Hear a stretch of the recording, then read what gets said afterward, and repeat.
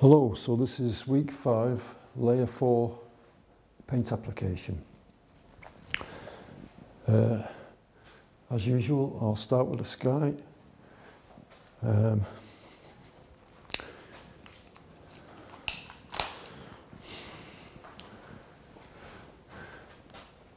I'm going to introduce slightly more purple and I'm going to make it progressively darker as well.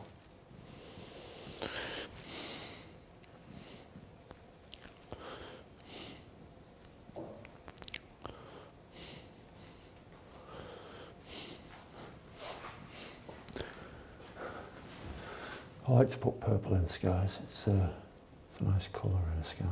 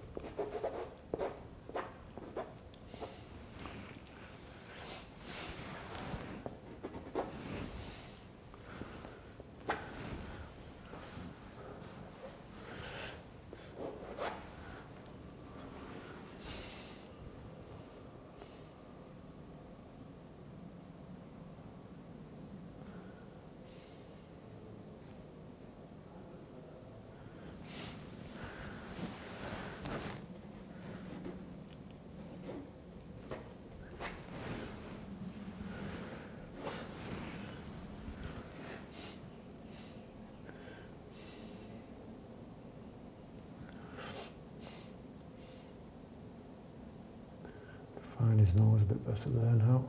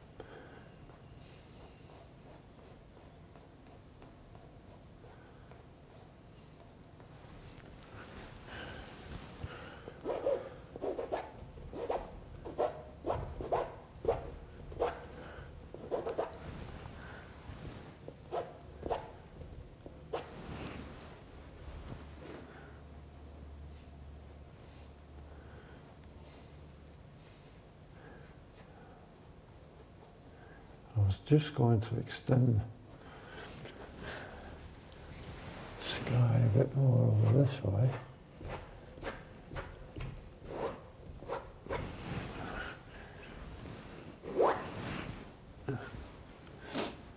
But as I go that way, I'm going to put a tad more blue into there.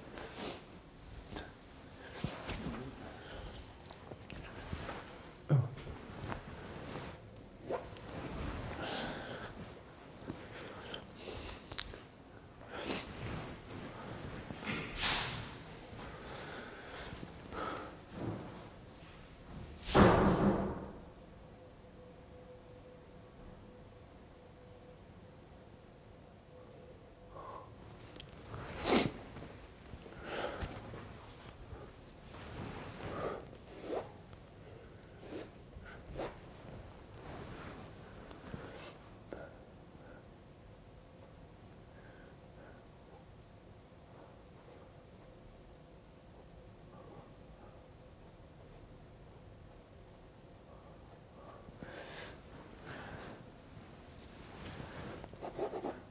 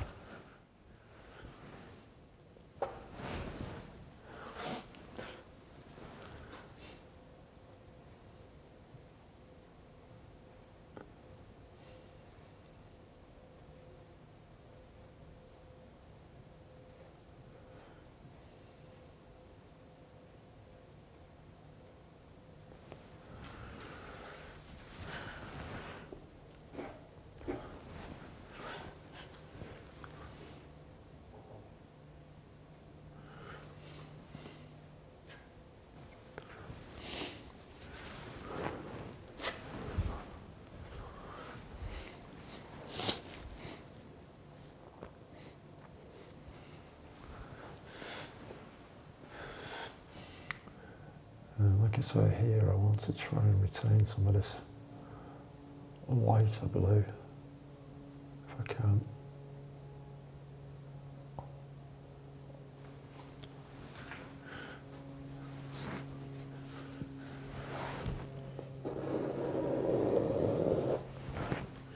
So it's a case of uh,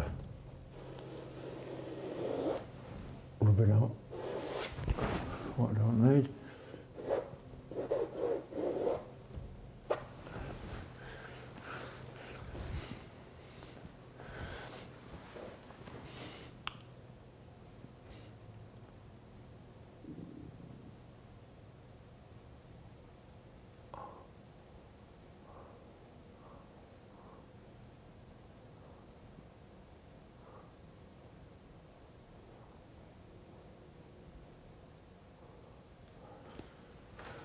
highlight this idea here for the uh,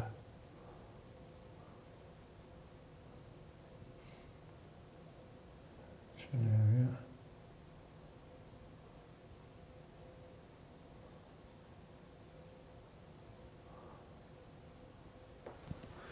Get that in a bit now.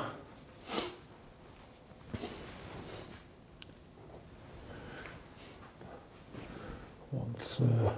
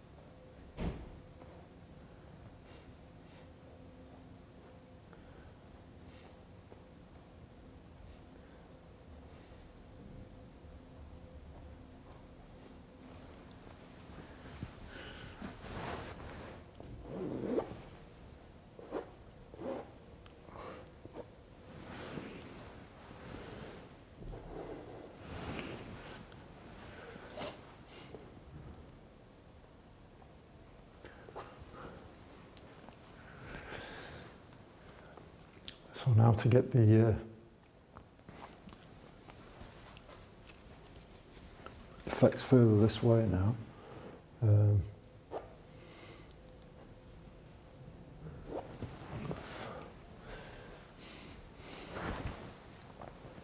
I'm going to go with a lighter hue of blue.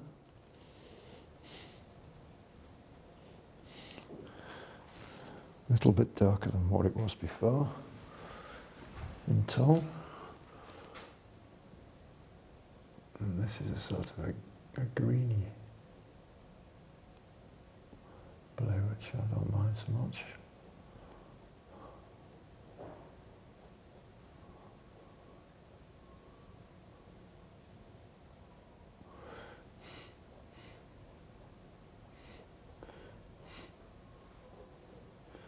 Get that in there.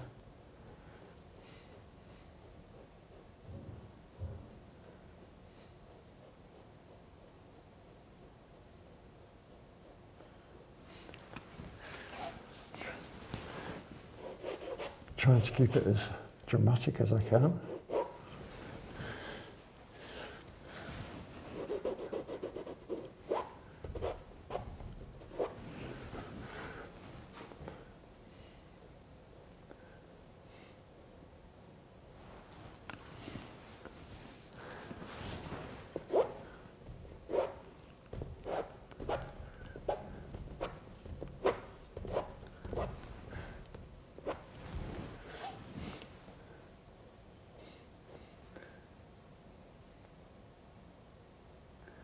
It's going darker, really. Uh,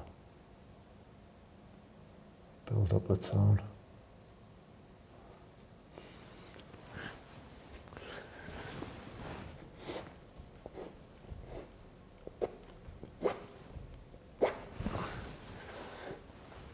I like the idea of him sort of almost as if he's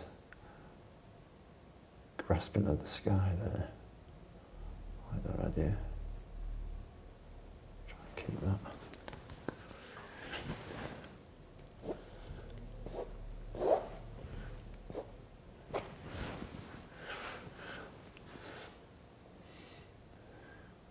Get some darker tones in here.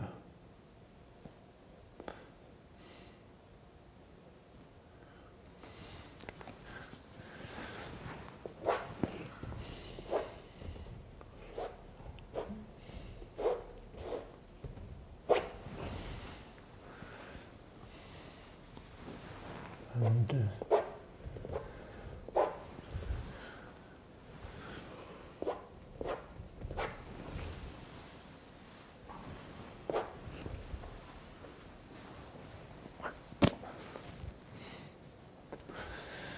But because I've put it here, I need to put some in here too.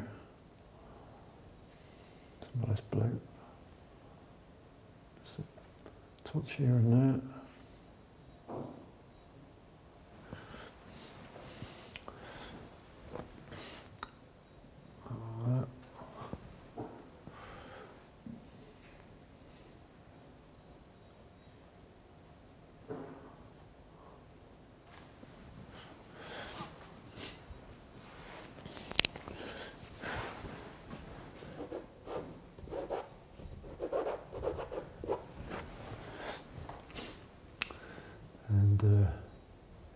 Here that I don't want to go too far.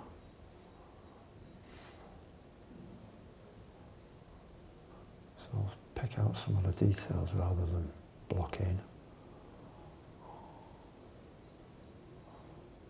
Uh, here and there. But a clean rag.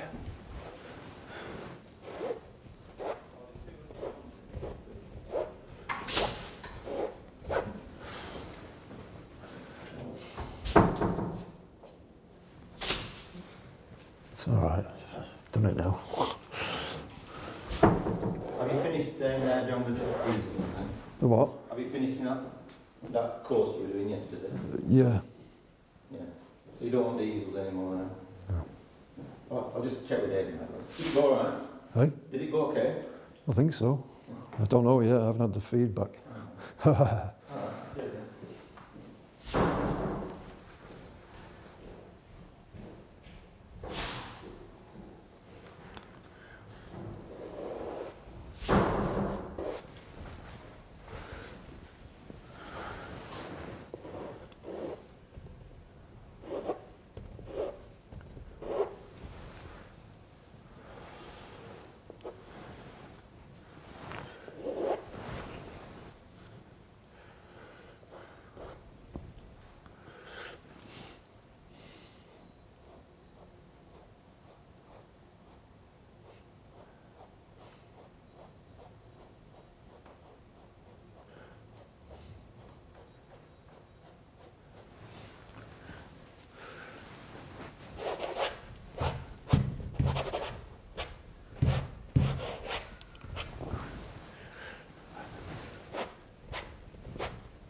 oh, like a diffused light sort of thing there. So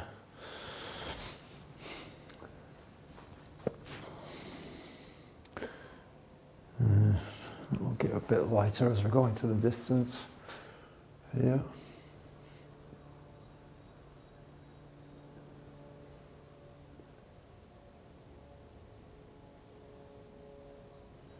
This rope in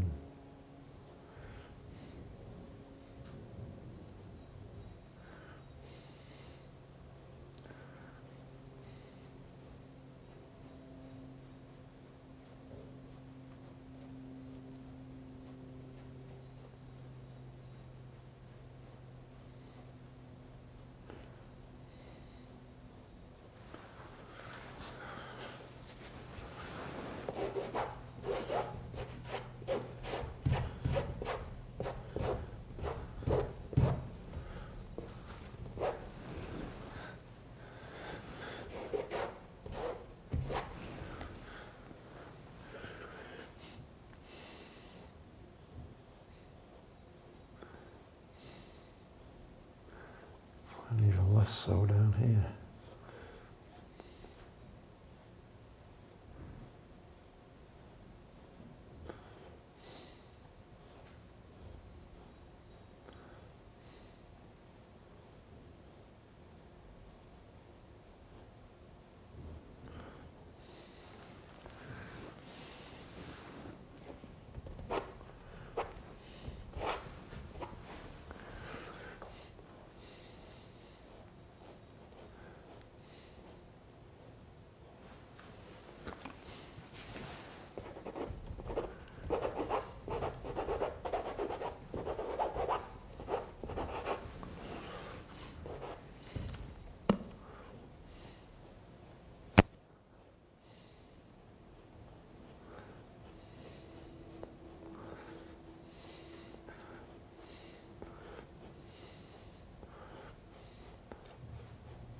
It's virtually a dry brush here. Letting, letting the colour underneath come through.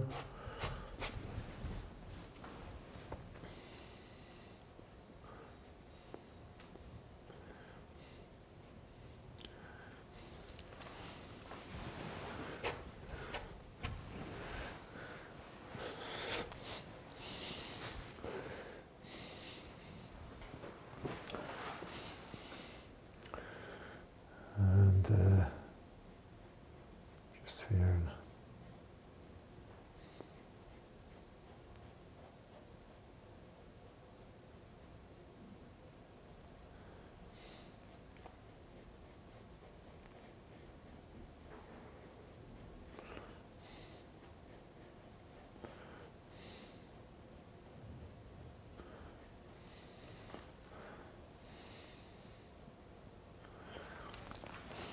distance there.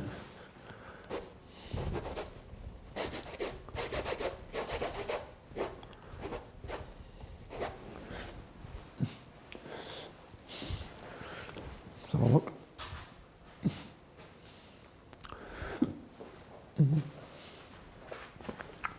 Why not so? bit harsh there.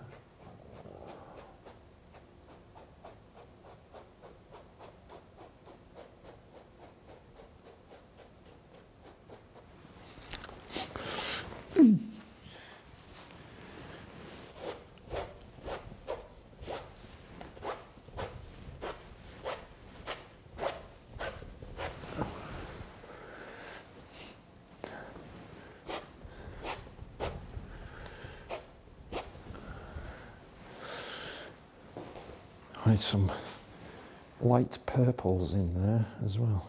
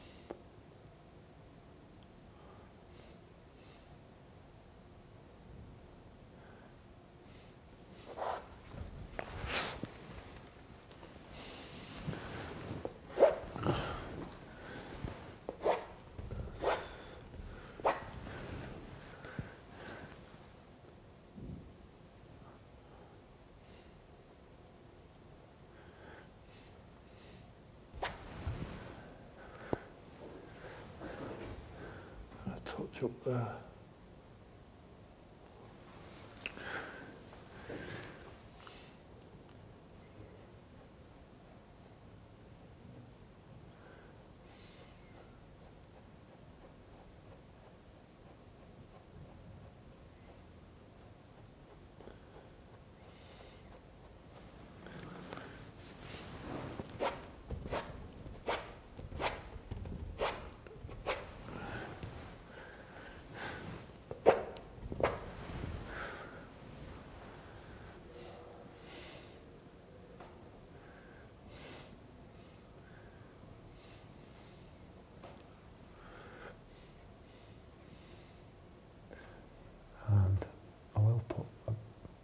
bit in here too. Especially under those clouds. On the light.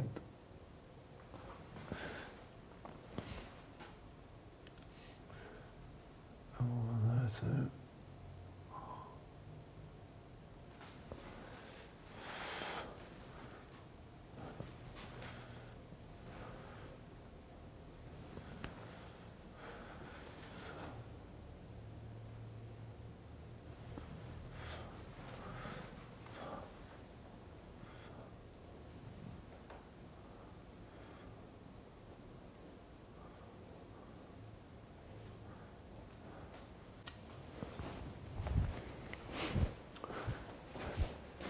Okay, so the reason I um, I'm going to do this cityscape again now. Um, the reason I uh, do the background first is because I can regulate then, I can see the whole picture and what the tonality of the foreground, the middle ground and foreground is in relation to the background.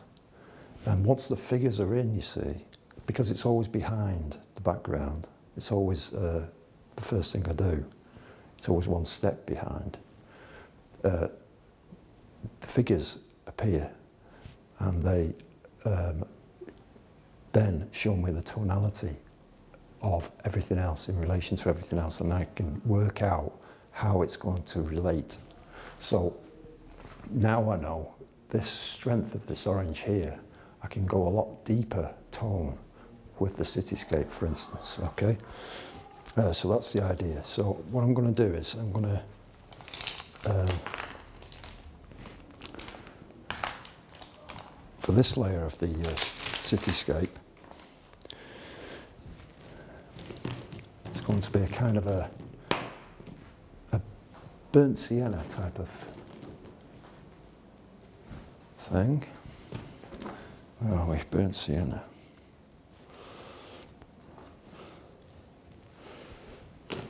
And I'm going to mix that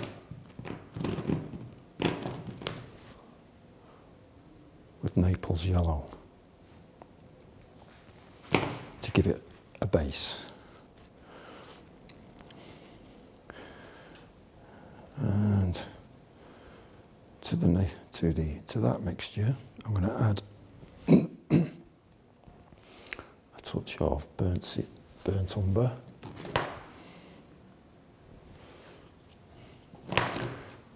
Actually, Van Dyke is better, so Van Dyke Brown. At least for the uh,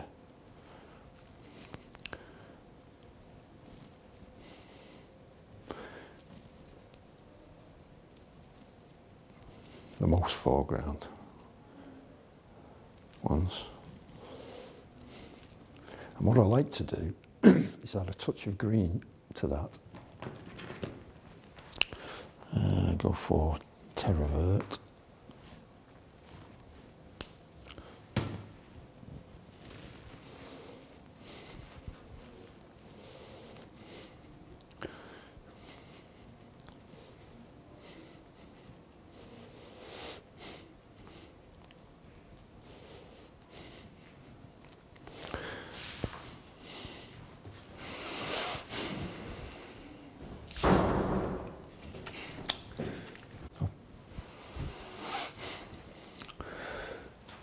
So this is a lot browner now. As you can see, it'll be quite dense. I'm just going to drag it up in between on top of what I've already put down. Uh, I want to differentiate his arm this time.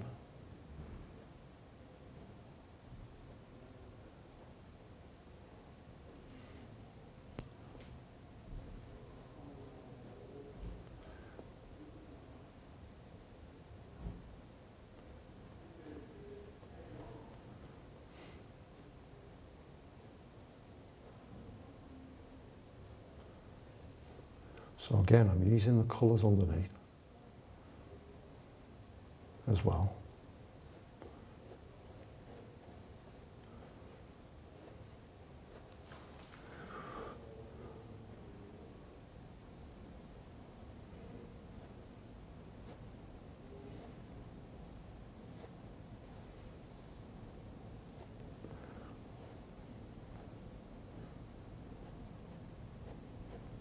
And it's progressively lighted nearer the top.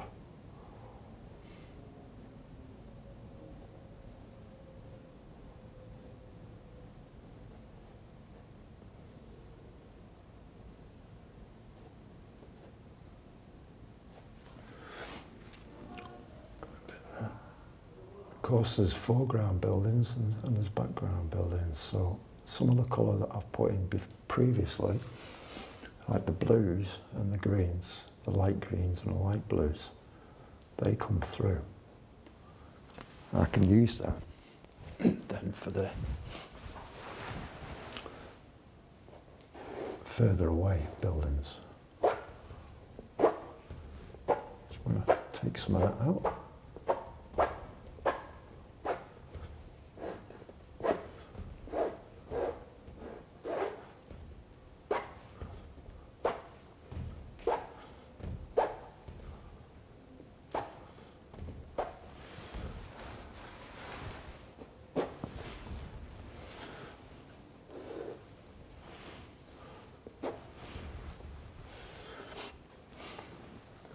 Uh,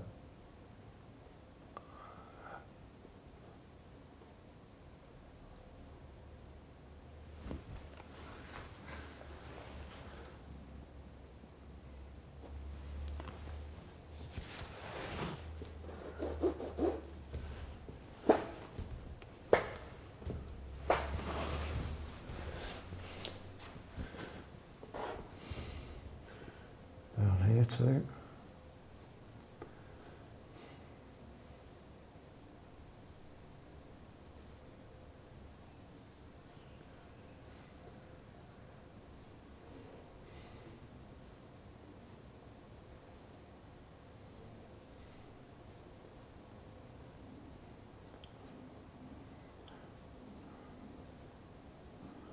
Because of while I'm here, I'm going to put these figures in a, a bit more prominent.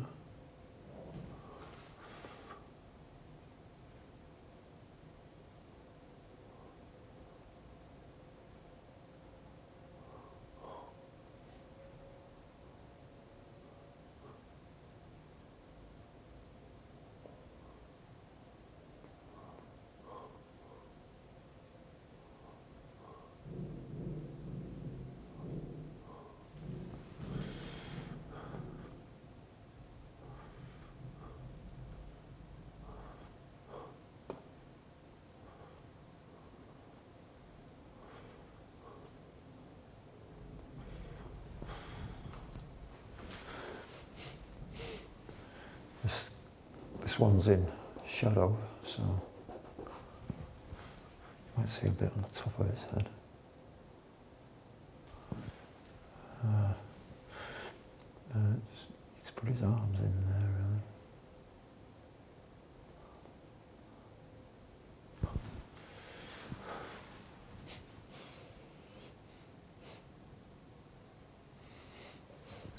Right, and this um, this road now, I can go progressively darker in tone on the road as well.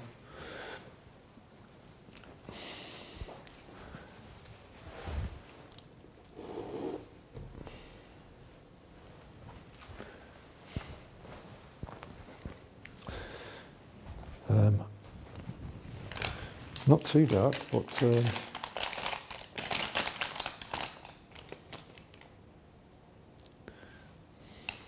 just enough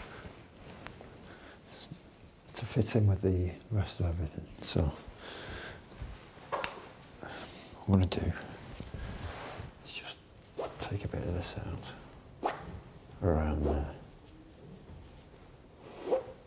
Some nice lights there.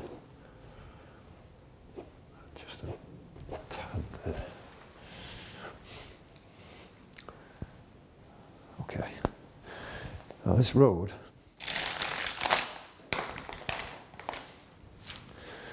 I'm going to for ultramarine blue.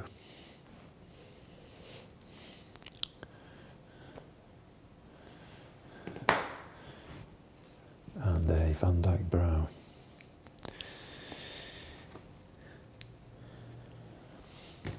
You know, um, the best way to make a black is if you use black itself out of a tube, straight out of the tube, it has a very, it's a very dense colour and it, uh,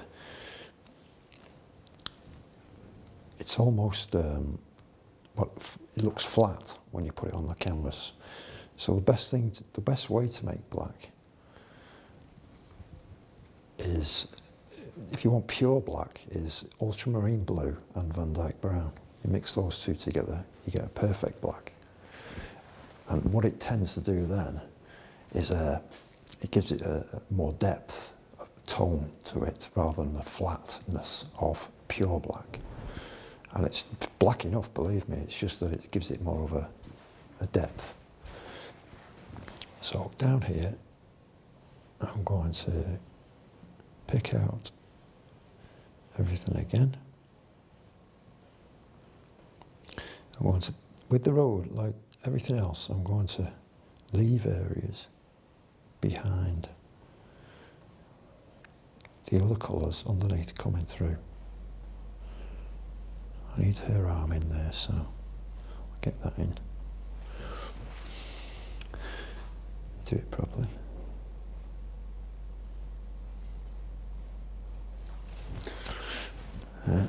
Uh,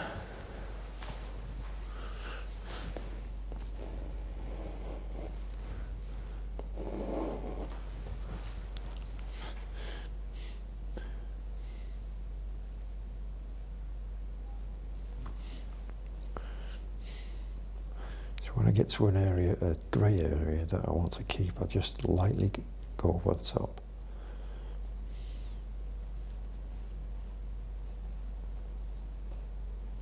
Skim the surface really.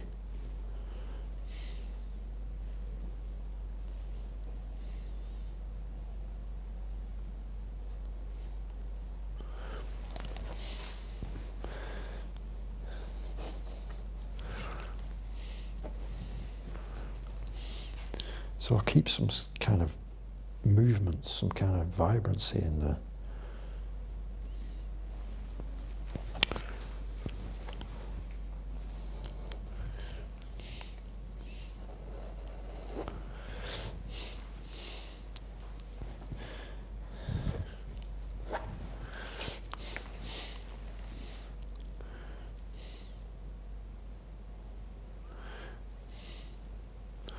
Nice piece there, keep that.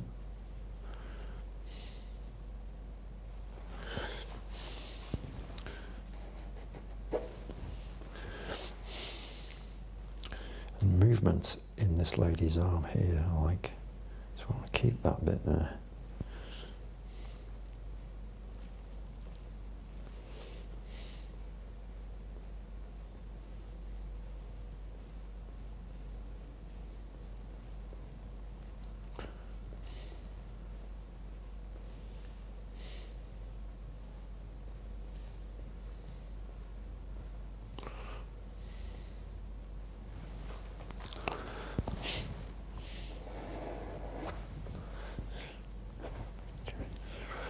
You can rub out if you like. Add, add some interest.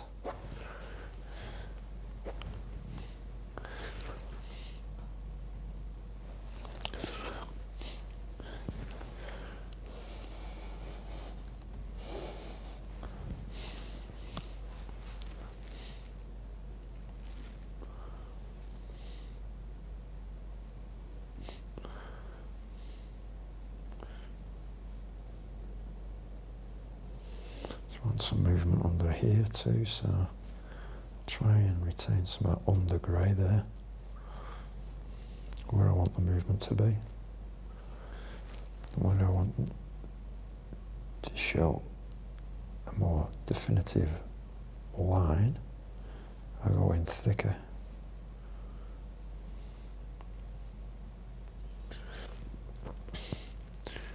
I'm not entirely sure where her hair would be yet.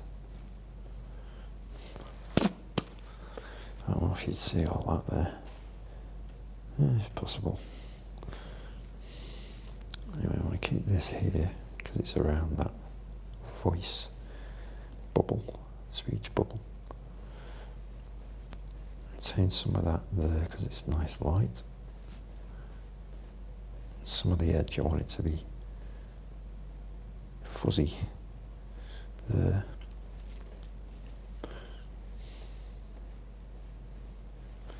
The fuzziness.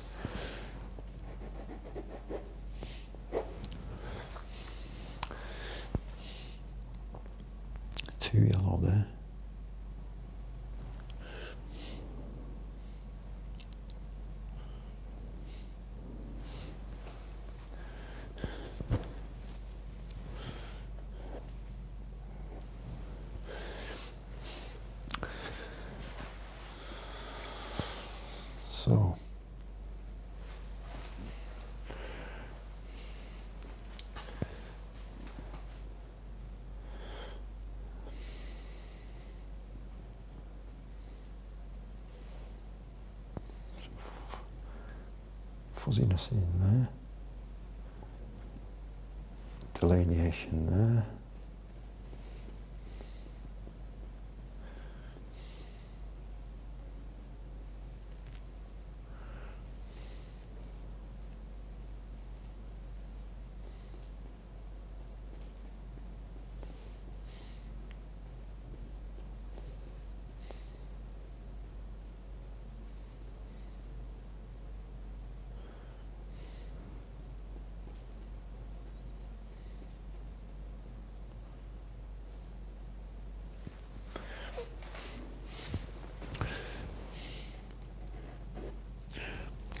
there. This there now. So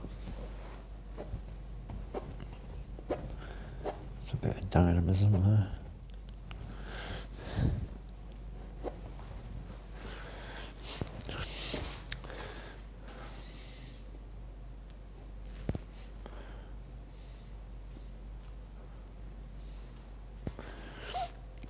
Same again.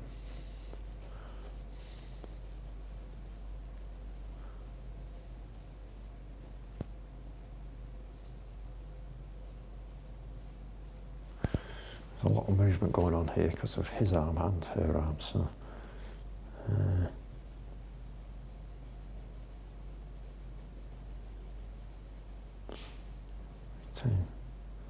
some of that.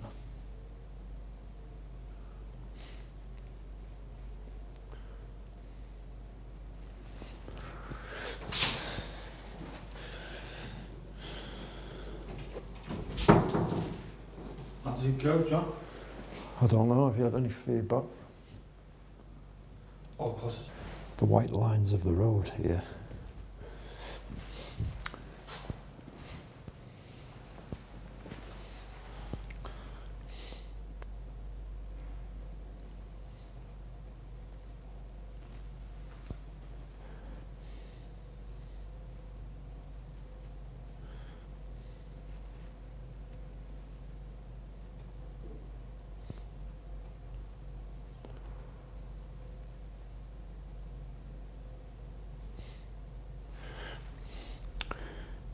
So.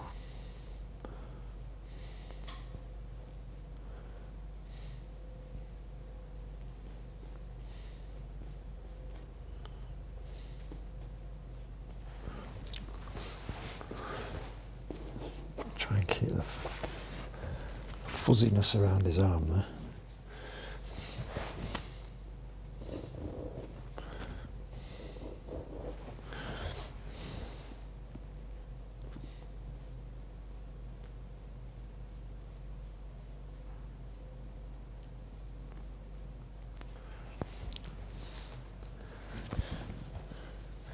And his uh, cheekbone is a bit so when I go back in and again, I'll sort that out.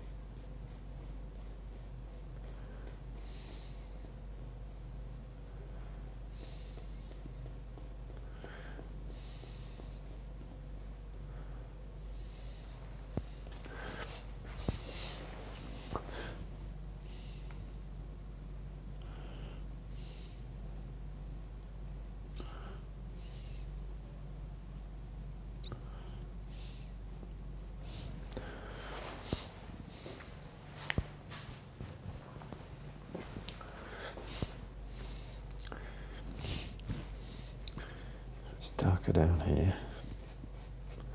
It's closer to. There's another figure there.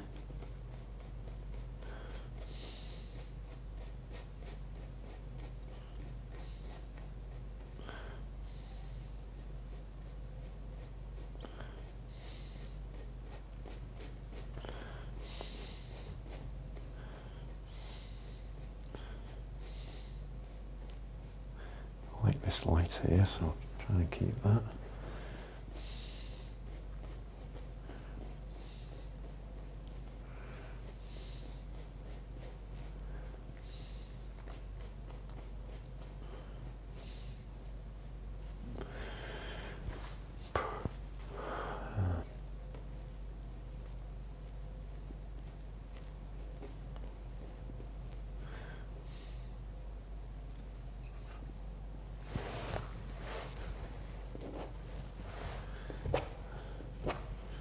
In fact, I'll do that.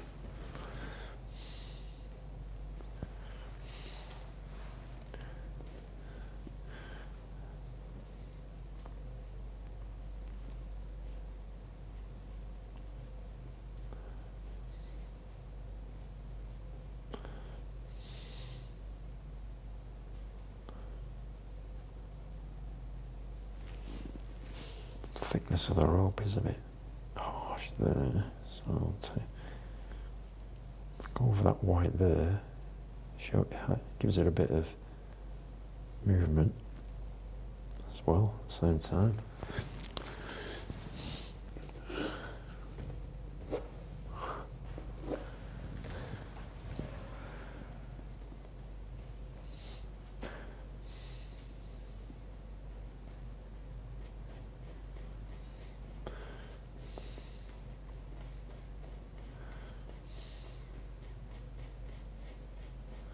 So now I'm, I'm applying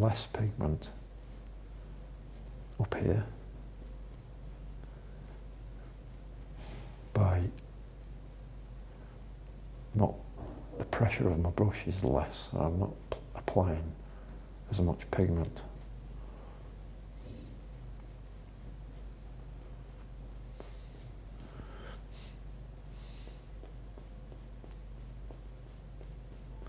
Get this other figure in.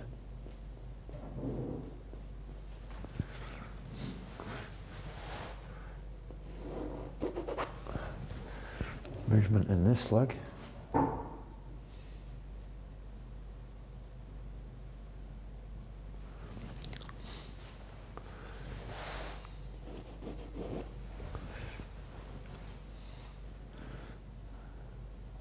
That's okay there. And then oh, down here too. I need the tree, so I'll get that in. Underneath there as well.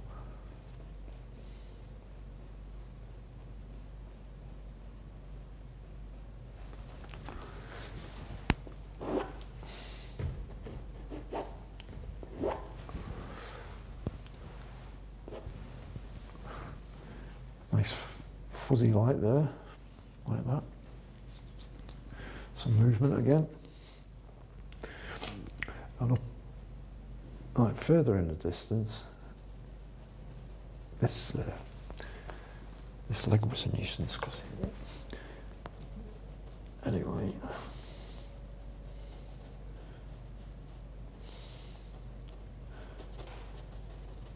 I'll do some dry brushing over the top of what was already there.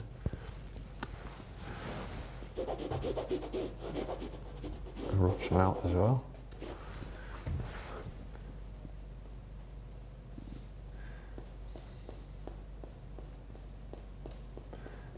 Use the purples in this area a lot more under, underneath. So I'm just shading really with the brush here. There's a lot of light there that I like, so I'm going to try and keep a lot of that.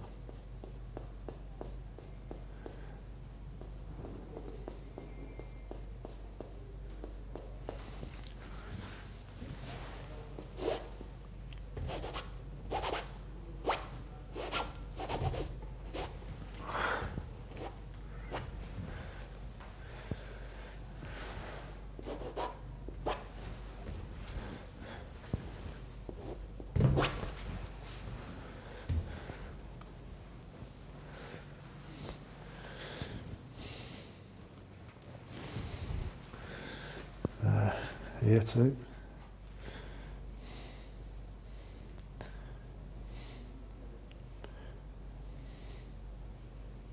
Nice light there, keep that. Movement light.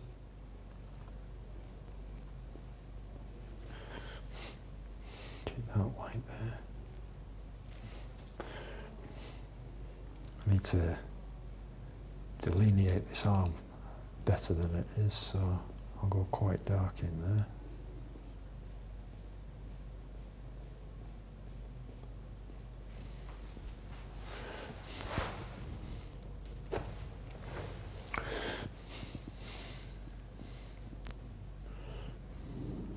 And this movement on this leg, try and keep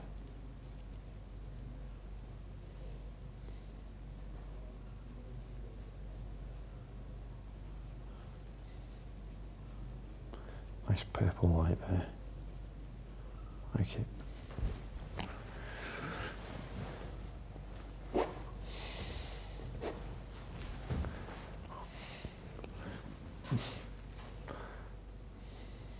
Can go quite dark here.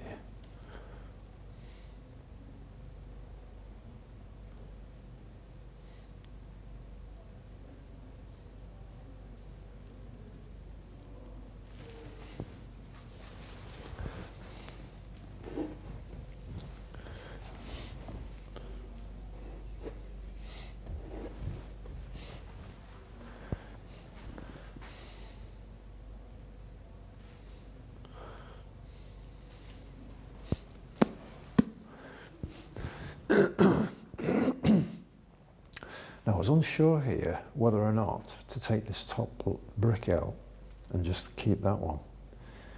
Let's see how that looks there. Right, if I take that out, just have that back instead.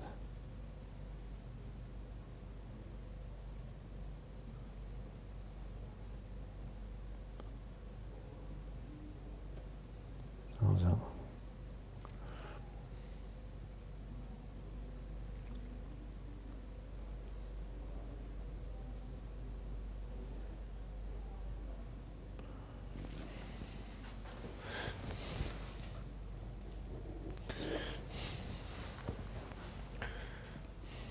Might be better that way actually. So this one comes out as well.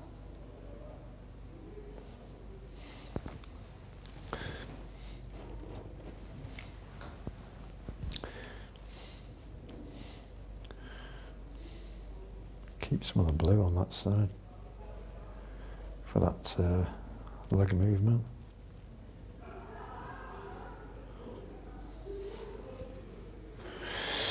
on the tree.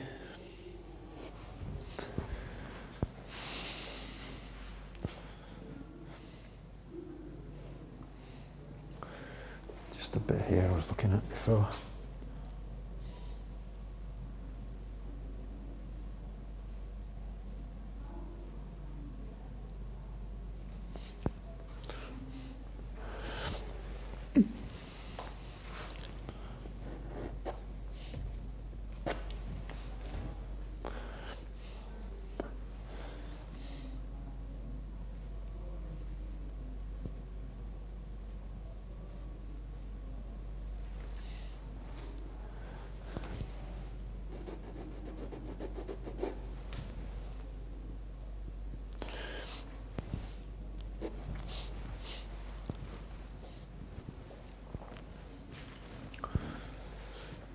Just do the top of the bridge now, so slightly darker tone, uh, lighter tone rather. Um, wipe the brush. Um, so it'd be in a bit of shadow there, so I'll take that.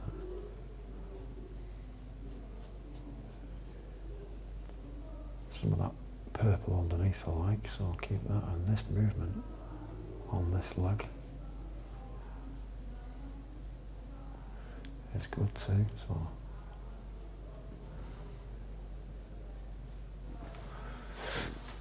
some of that.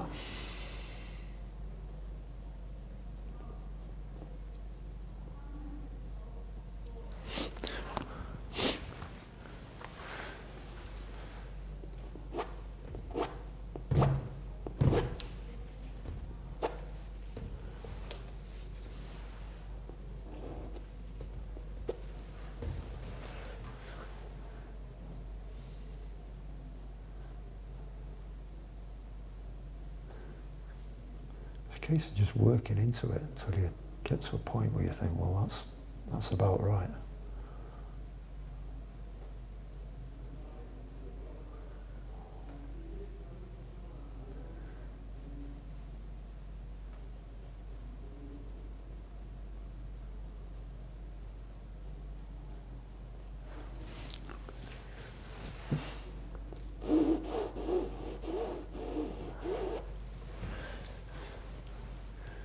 Up here, progressively torture touch again.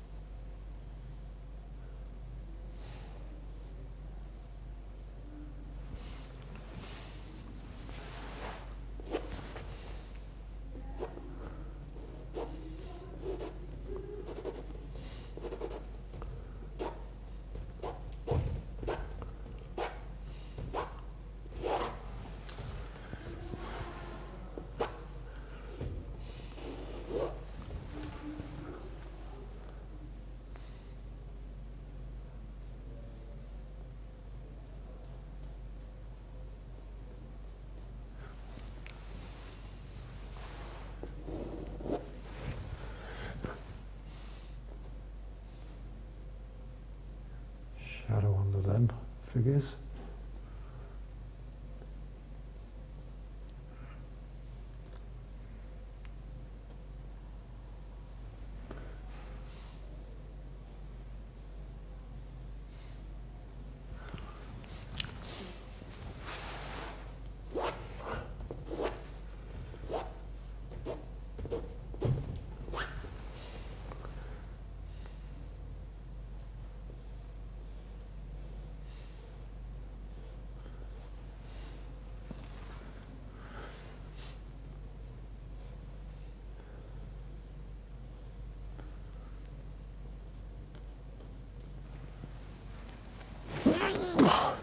Me.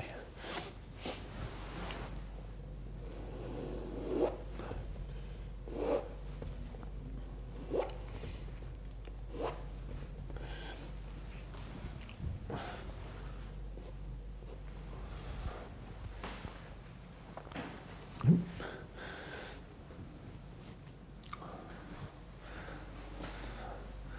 just going to put a darker line underneath here.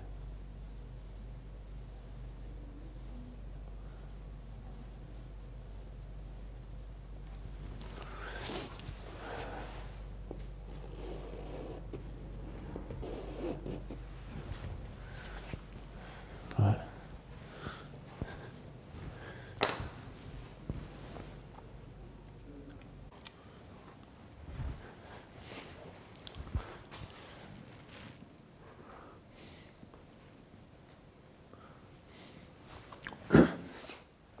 So we get the second tree in here.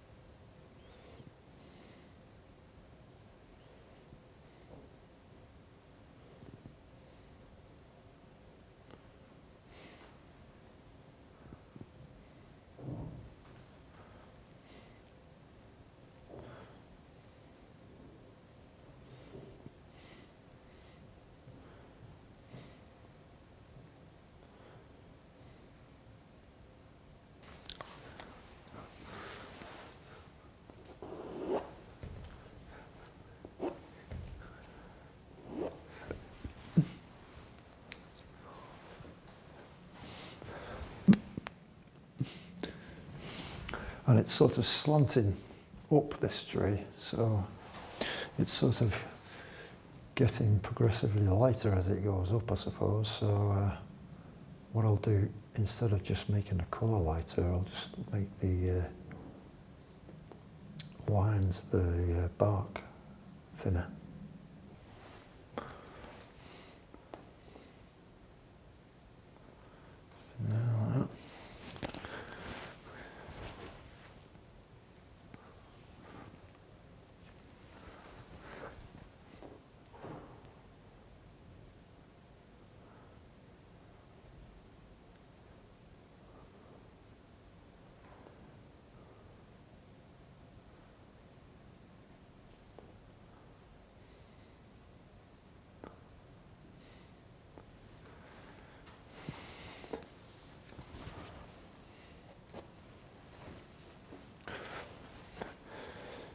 Here as well. Get his fingers in there a bit better.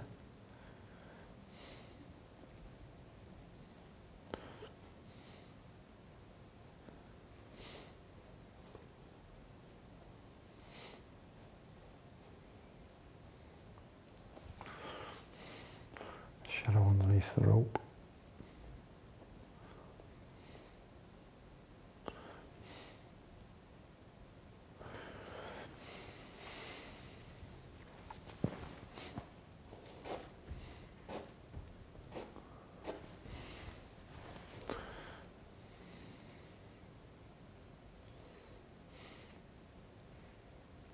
Bit darker.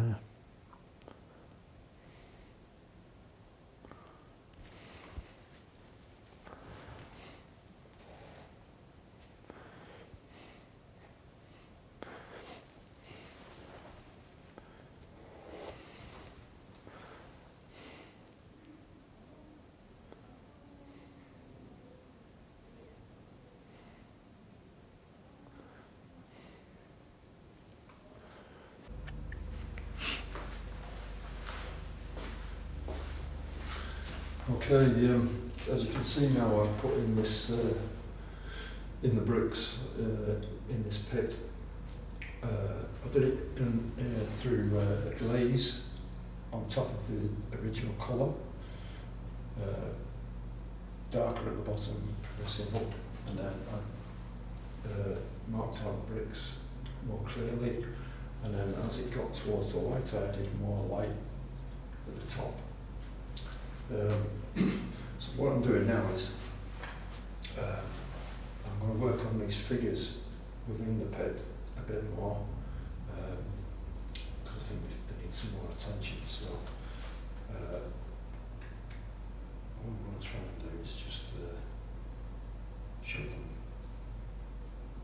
with a bit more definition.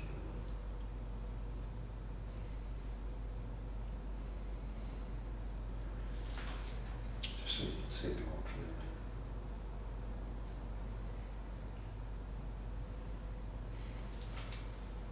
Um, some of the muscle groups.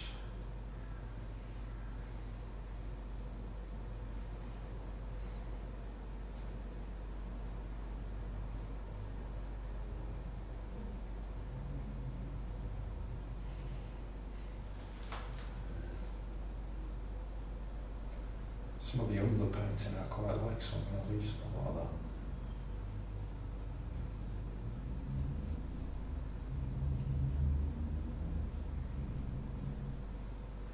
Looks like that.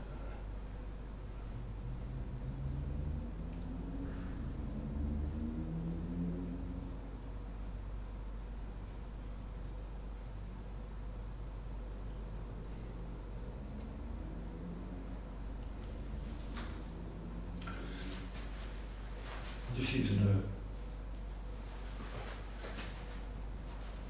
a tone blue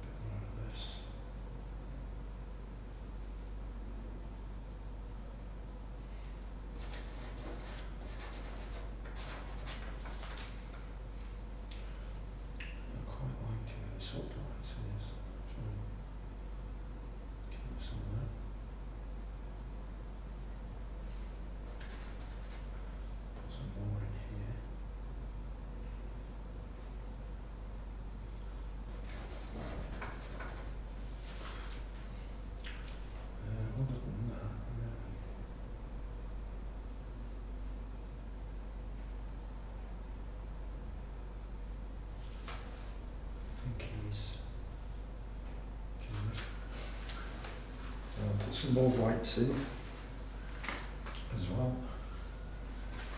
Not too much because uh, he's fairly low down there, I'll put him in his hand here.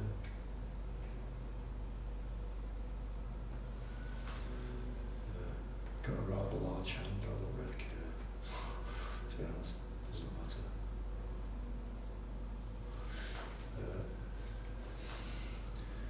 and you know, it's not even, it's not about uh, showing every digit on every.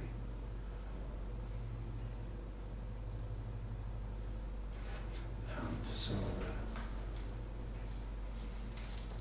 just enough for information, so I think.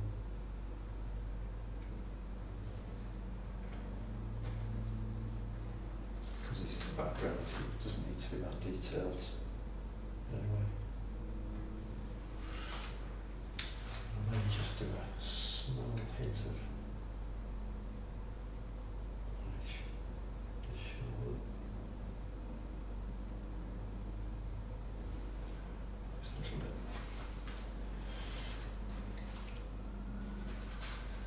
Touch.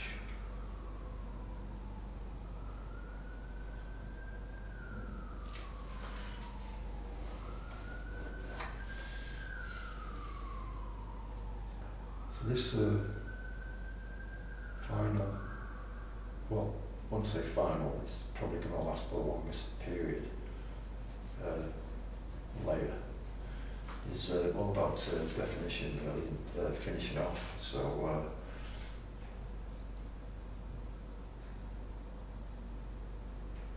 um, really just finding everything now and defining everything.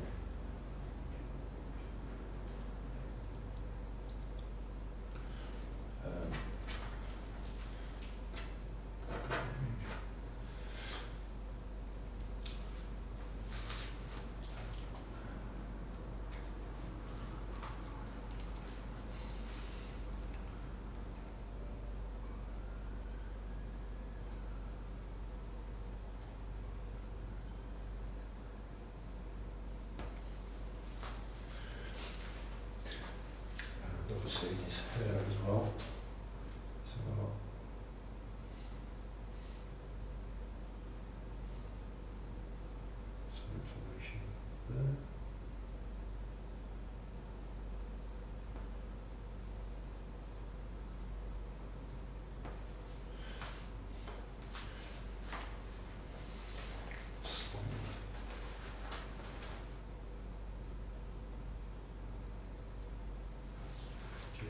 There,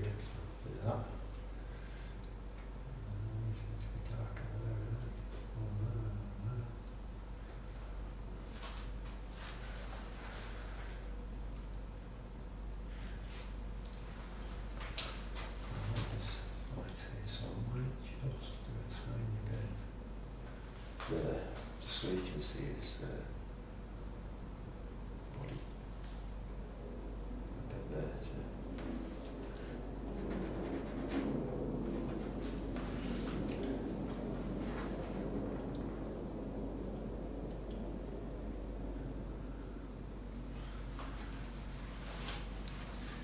Mm.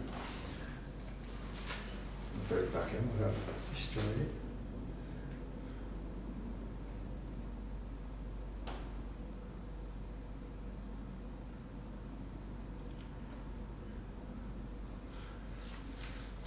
You might be able to see, but all the bricks are all the higgledy piggledy, you know, it doesn't matter. The things aren't straight and, you know, especially if this is an old, older pit, going to be all over the place. As you notice, walls usually are. Um, yeah, if it's thrown together, sort of thing. Uh, so I think he's okay there now. Uh, you can see, you can see him what he's doing. You can see the. just put a bit more weight there. Um, I think that's okay as it is. Uh, so I had noticed before uh, all these uh, pillars now need to be tops at least need to be uh, a lot lighter in tone. So uh, put this one in here.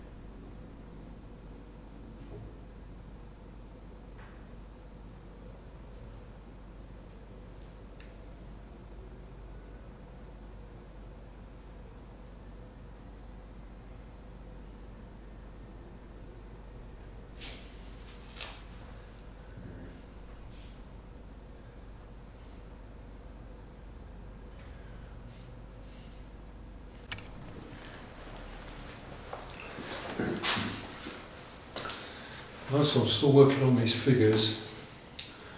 Um, I don't want to strengthen them too much.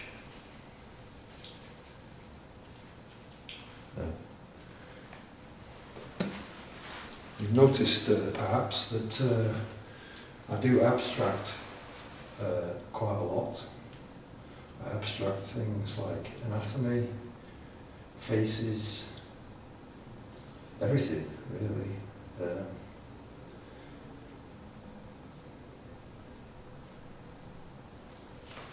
it's very stylized, my work.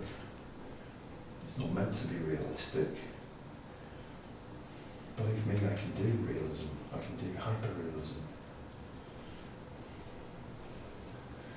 I want to. I'm lucky because I can go from one to the other.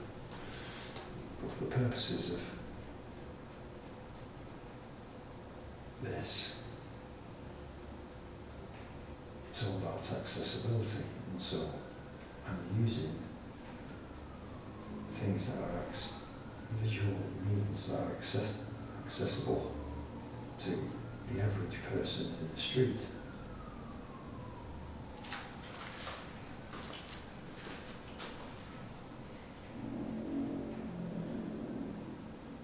I've gone from realism to abstraction, back to realism, back to abstraction. I go from one to the other. No, particularly a style, I would have said.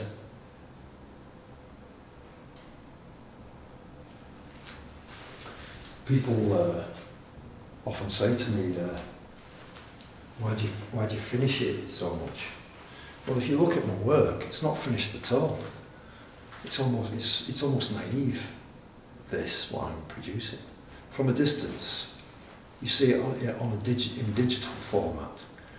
It's, it looks realistic from a distance because it's got all the codes of realism in it. But when you look at it, it's a painting through and through. Right? It's got brush marks. Every little piece is a brush mark. It's not, it's not emphatically realist at all, I have no intention for it to be. Right?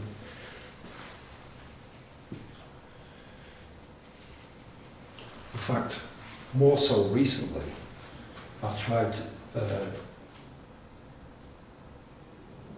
to uh,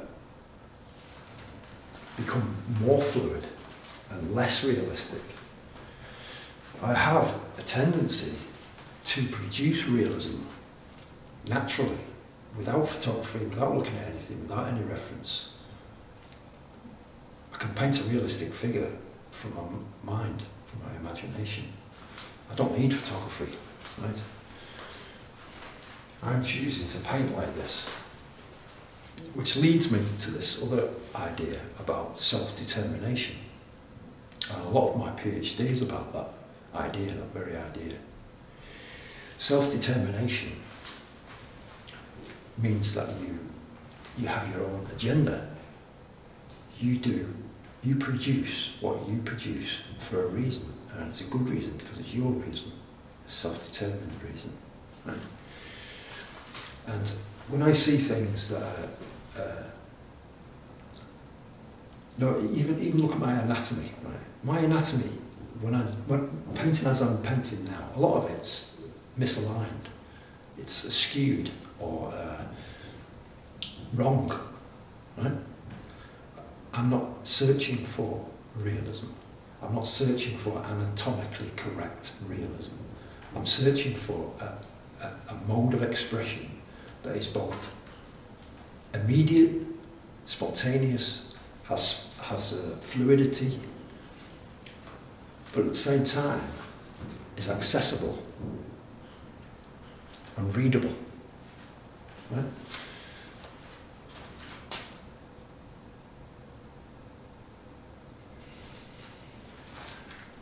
Like I say, I, I could have produced, if I, if I carried on with this for six months, with this particular painting, right?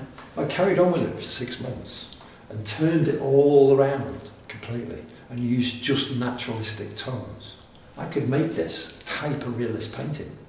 It might take me some time, but I could do it, right? This is, this is a, an intermediary. It's, a, it's just enough information, and that's it, it stops, right? It's up to you then, the viewer, to piece it together. I'm giving you most of the information. You, then it's for you to, to work it out, right?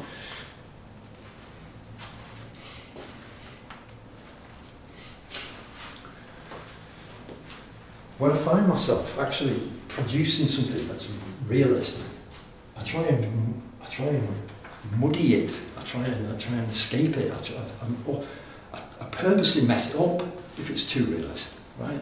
Because I've got a natural facility to be able to do a realist thing from my mind. It's very. It, I have to discount it. I have to try and push my view in another way. And mannerism is, is one way I can do it.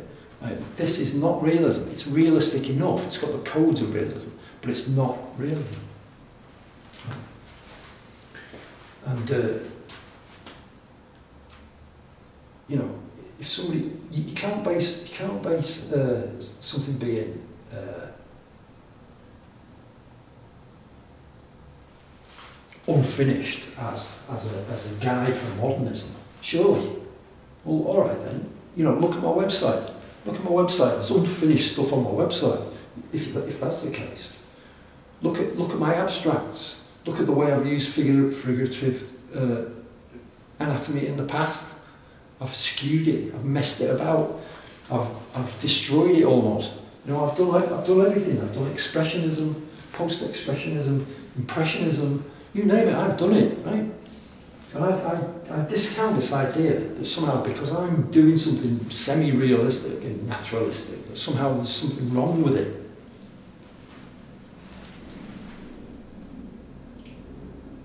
I'm sorry, but I, have, I do have these, uh, now and again I get these comments.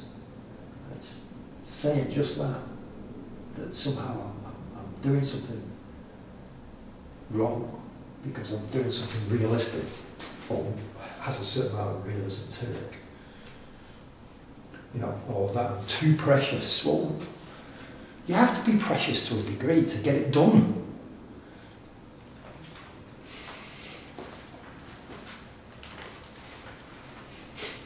This is, this is now at its, this is the fifth week, right? I've been doing this painting. Five weeks. This is the beginning of the fifth week. Now, it's not finished to me. Some people may look at this and say, well, it's finished. Why is he, why is he going a step further? Why is he, why is he going a step further? Why? Well, when I think it's finished, that's when it's finished. Right?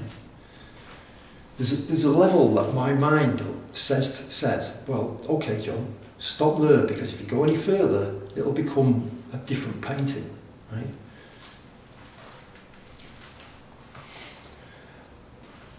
I'm obeying rules at the moment, right? There's certain rules I'm obeying. I'm, I'm obeying rules of composition, I'm obeying rules of uh, perspective, and in some instances I'm obeying rules of anatomy. and I'm obeying rules of uh, tone in paint, you know, the coloration. So it's not like I'm discounting it completely. I'm just giving enough information, that's all I'm doing. Just enough.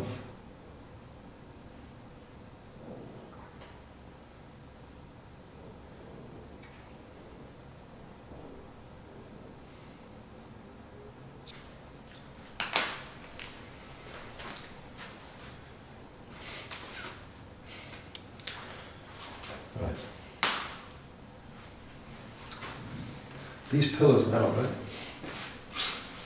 A different colour to the, to the blue. That's for a reason. Right? So they stand out. Okay.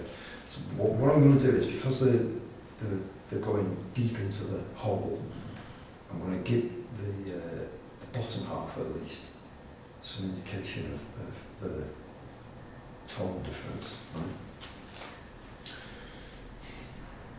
So I'm going to put in only slightly, just at the beginning, where it's coming up from the bottom.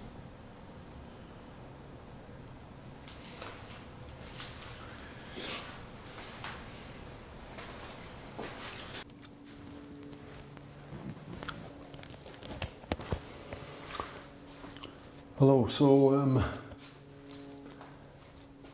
I've worked on the uh, background a lot more now. Uh, seeing as though this is the fifth, the fourth paint layer, uh, you should see things being more resolved now. So uh, the sky is a point where I'm sort of fairly happy with it, but that's not to say I'll go in and try again and redefine it at some other point. But uh, as with everything, but um, I've also uh, worked into the pet area uh, and some of the figures within it. Uh, so now, again, I start at the top with the figuration and I'm, I'm going, going with this guy here. Uh, the thing is now at this point, uh, this is the time when I uh, use uh, more secondary colours and uh, local tones to uh, subdue the severity in some areas of the actual uh, colour. Um, although I like the luminosity, more often than not it's a bit too harsh and I like to tone it down slightly. So this is one of the things I'll be doing uh, in the next week. Let's see how this looks, but uh, might be too dark. Don't know. No, it's okay.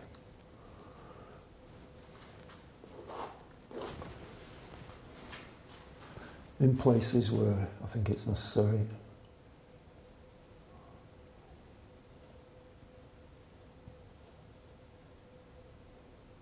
Backbone there.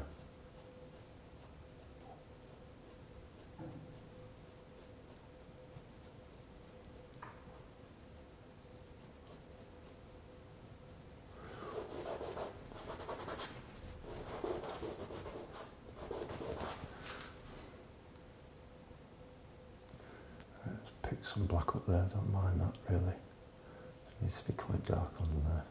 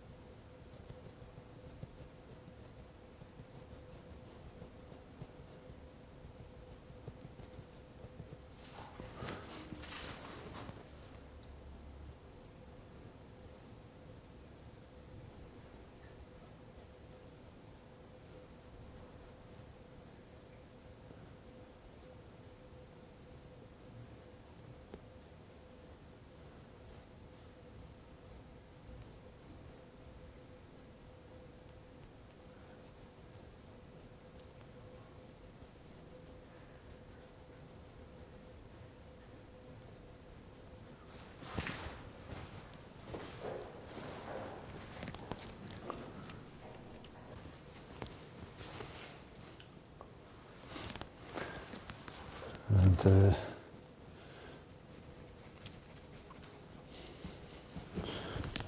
need some definition in his face here now and his, his neck, so I'm going to put a darker area there.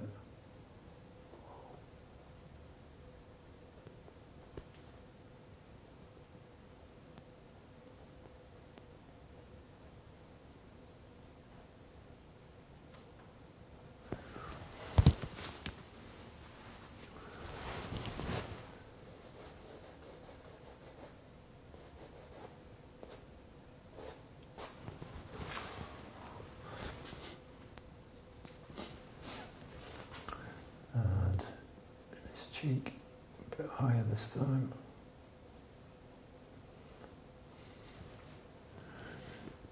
And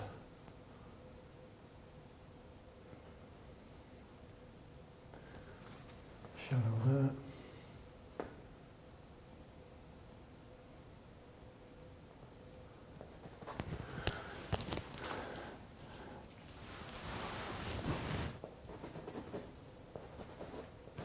It's all about refining and redefining this layer. Uh,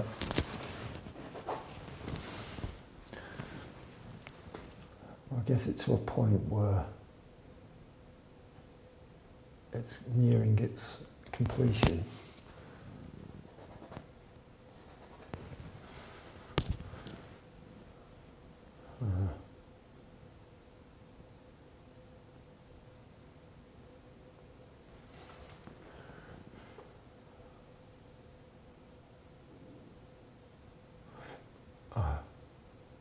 Got to be mindful that this figure is in the background to a large degree, so.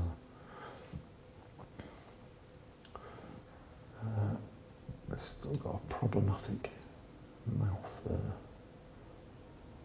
I think that's a bit better there.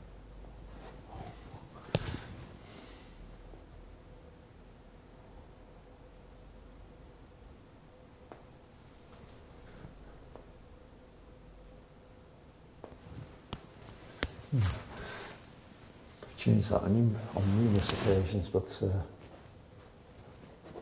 eventually it comes to be, and then you find it, and it seems to work now. It's all right.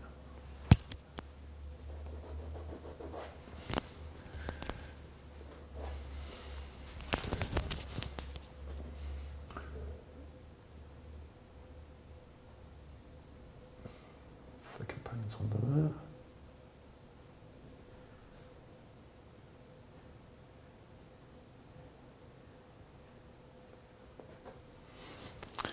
Oops. Twice.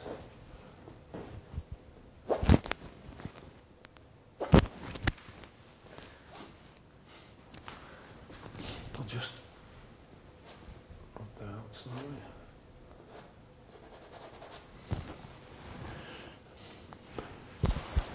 The only problem with this rag is that it leaves, leaves a lot of, a lot of dust like very fine uh, hairs, which is annoying, but never mind. Anyway, uh, put some more whites in here. Uh, this is thicker white now. It's uh, I'm not using any liquid in it. It's uh, pure from the tube, so you get very much a more stringent uh, amount of white on your brush.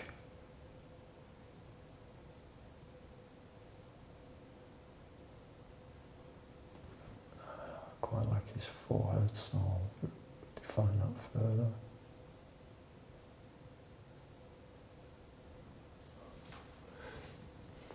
Nose needs to be slightly that.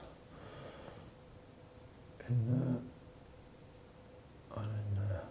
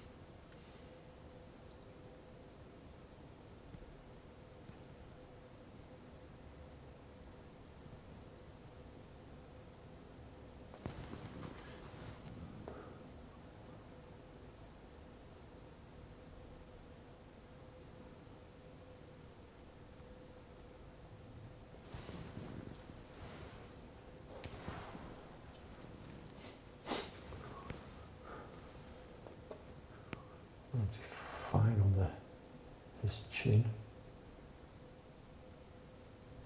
bit more. I'm going to put this light here as well.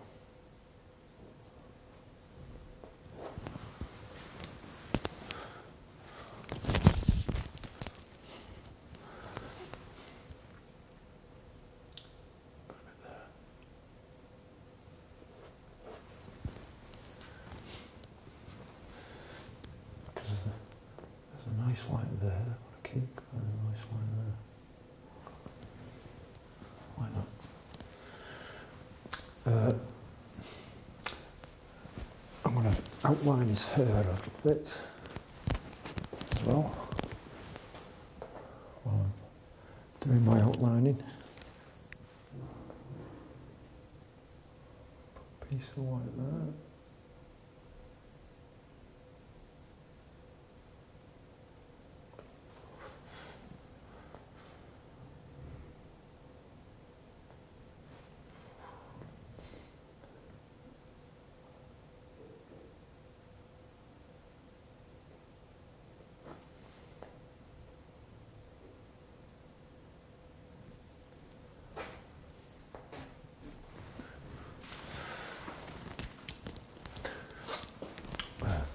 and some of this.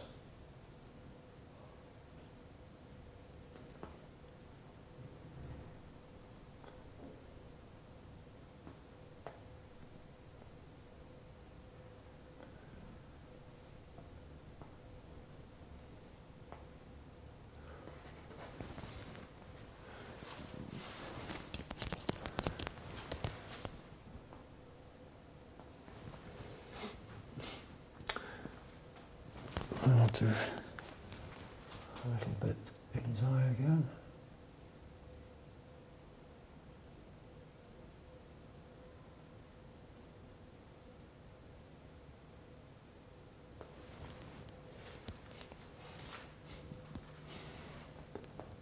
Touch there.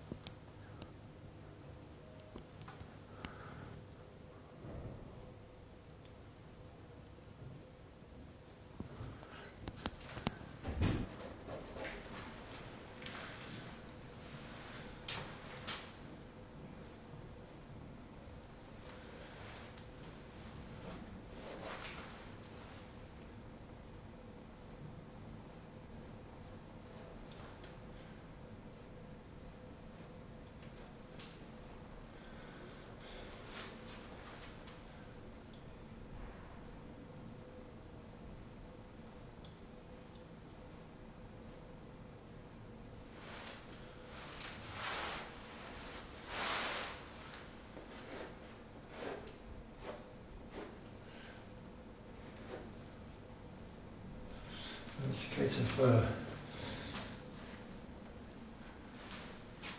keep plugging away at it until you're happy, really. And um, I do uh,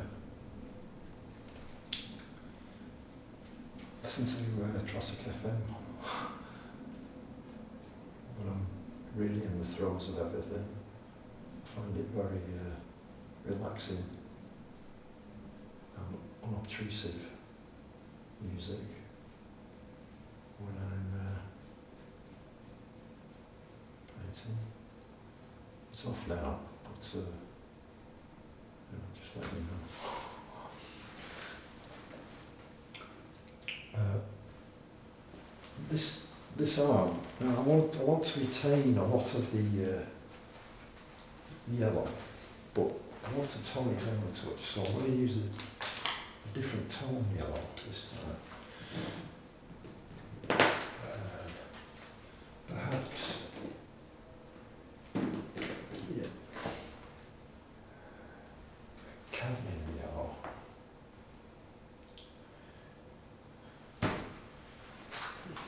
With some added lemon yellow. Oh, that's right.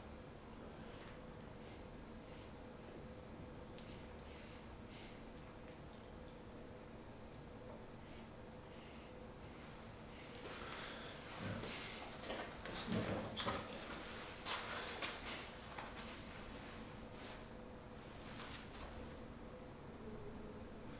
It's quite a bit darker, but never mind. It's okay.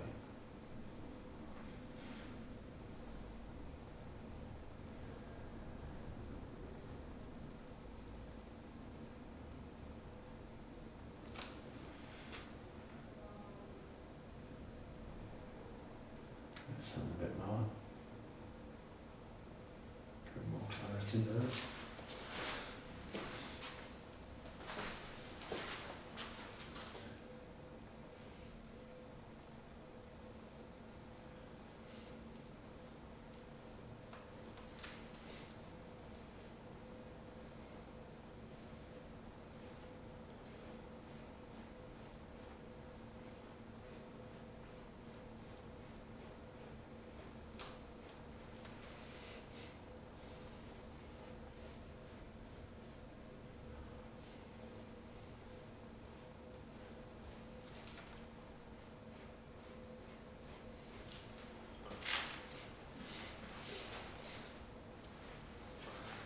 It's a bit stronger there now. I'm going to put some in there too.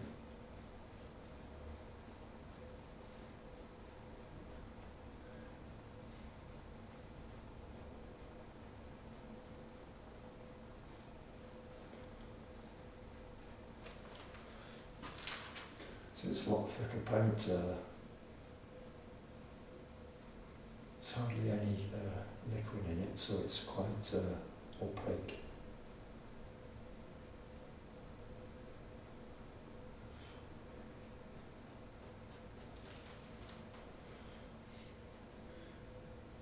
Uh,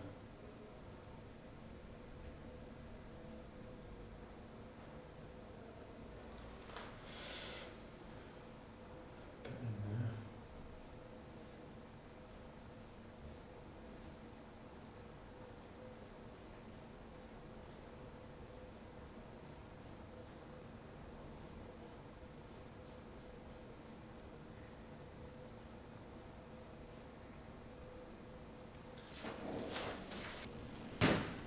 With a lot more white on it. Mixed with a touch of that. Uh, so it's not pure lemon, in other words. It's a white lemon.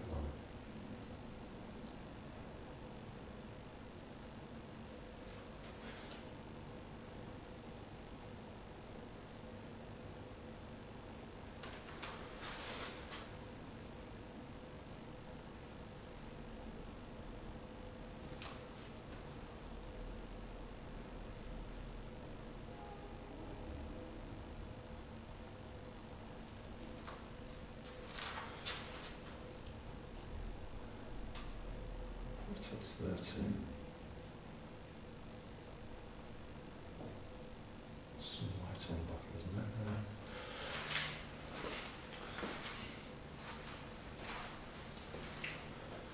So all around where these light areas are,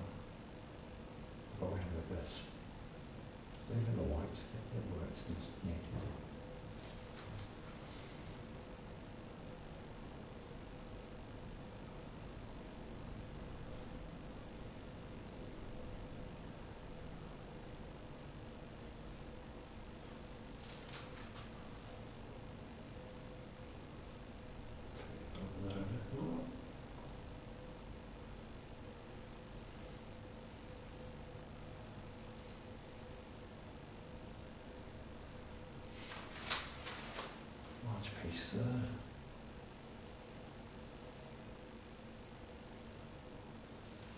Little space there.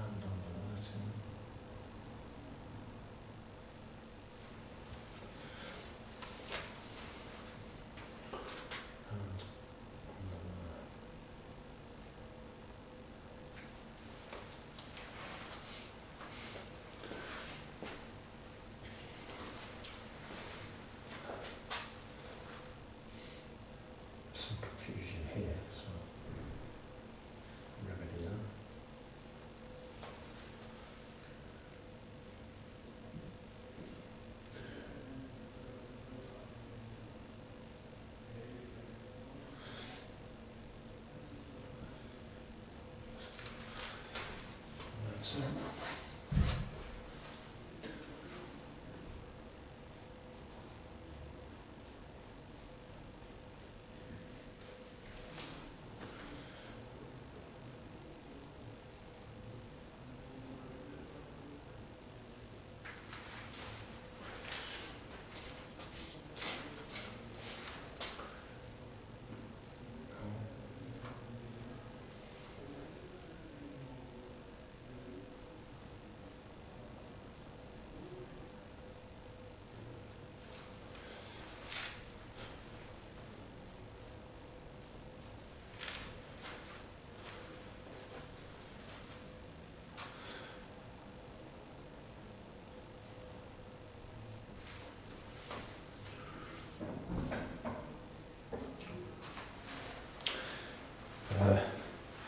then I go in back again with the whites, pure white this time.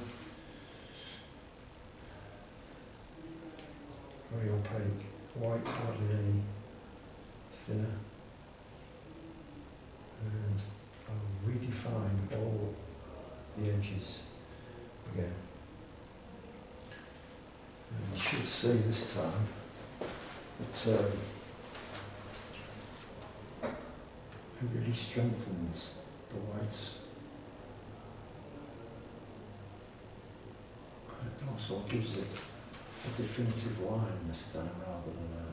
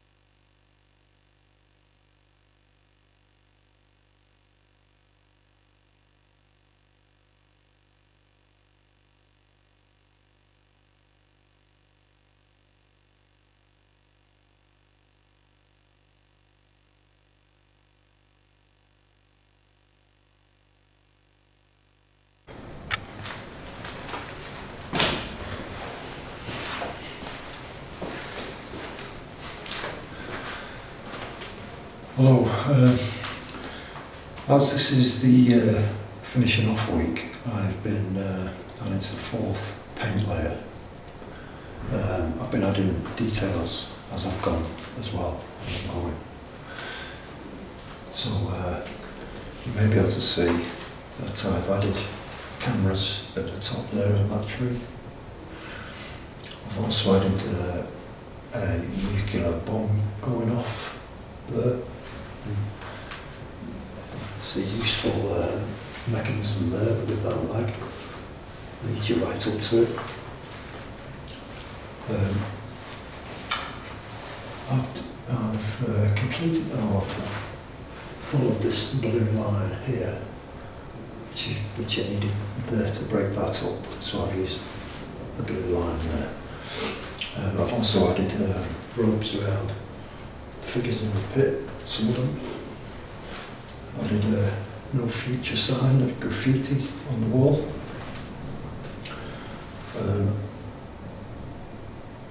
yeah, so uh, I'm currently working on this side here. I've sort of semi-completed that, I think, now. I've just done this lady, and I'm doing this guy here, this figure. Um,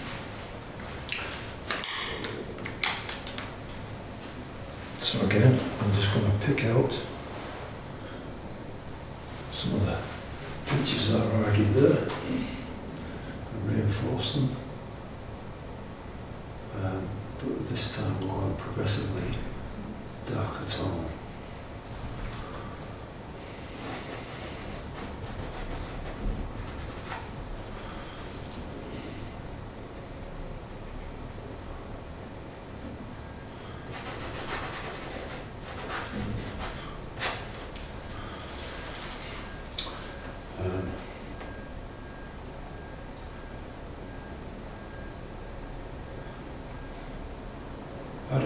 The other day from somebody who uh, said to me, why, why is your work so crowded? You know, why don't we give the viewer some breathing space? Why, why, why, why isn't there, it's a good part of design is to leave vacant space for the viewer to fill in the information. My reply was that because it's satirical and it's about the world and the world's uh, social-political turmoil, design principles of leaving space for that purpose, just to, to show or give this impression that um,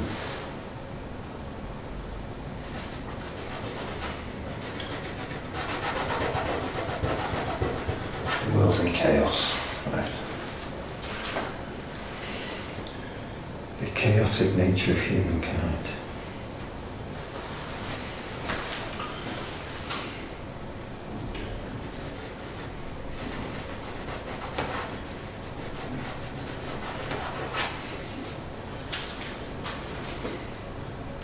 Well, you probably guessed by now that everything I do is for a reason. Some of it's planned, pre-planned. and Some of it's on the spot creativity. Like I said initial video, drawing video. So my paintings develop. You know, they're, they're, they're, they're not, they're, they're never going to stay uh, static or in the preliminary drawing stage, you know, the, the, the way past there. This painting's now uh, its own entity, and uh, as such, it dictates its own course.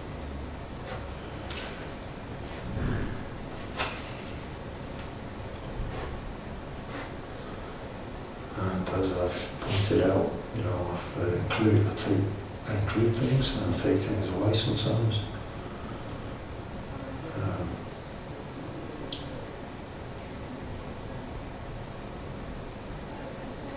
Painting evolves over time.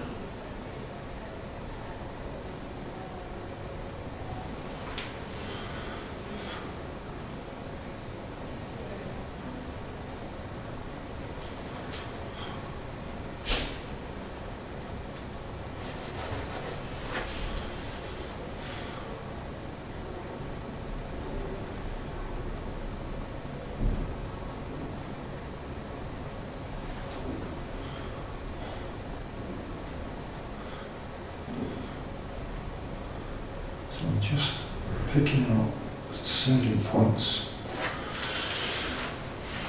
and working into them again.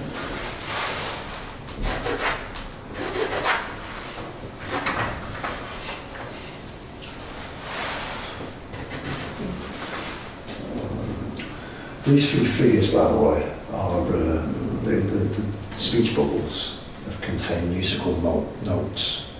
That's to signify Stoicism. Right? The fact that people, as a defense mecha- mechanism, Stoic, Stoicism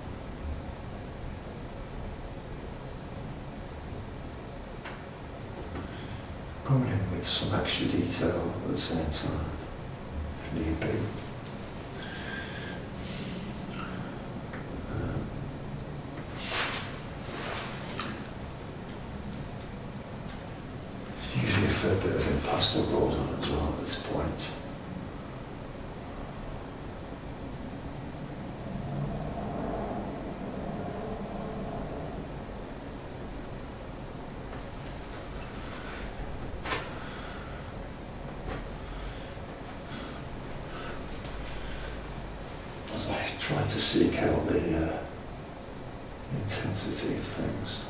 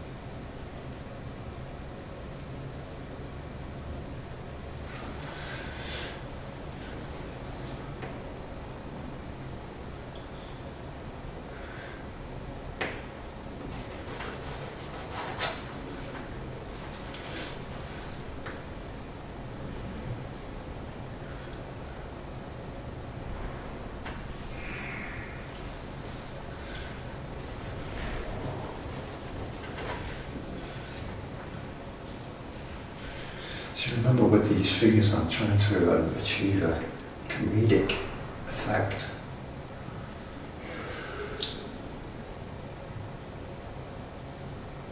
It's part of this uh, of viewer because of the uh, potentially harrowing message that's going on. Uh,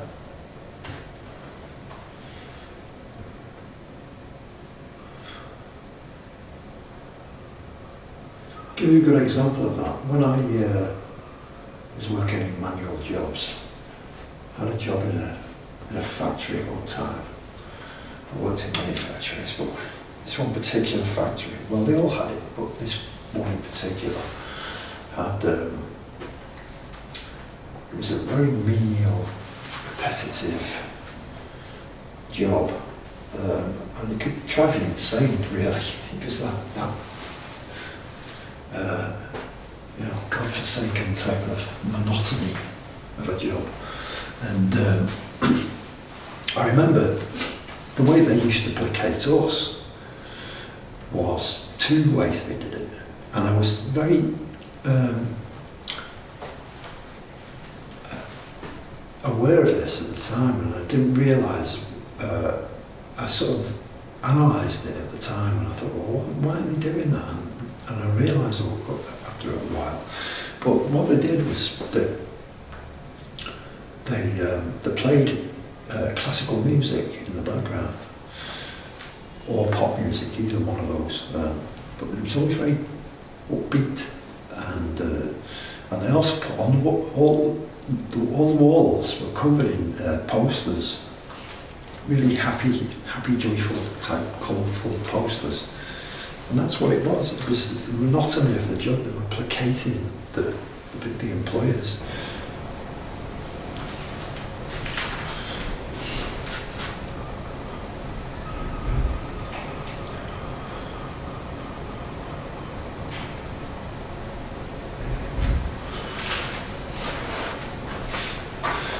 Anyway, I'm sitting on this girl here. Right? Uh,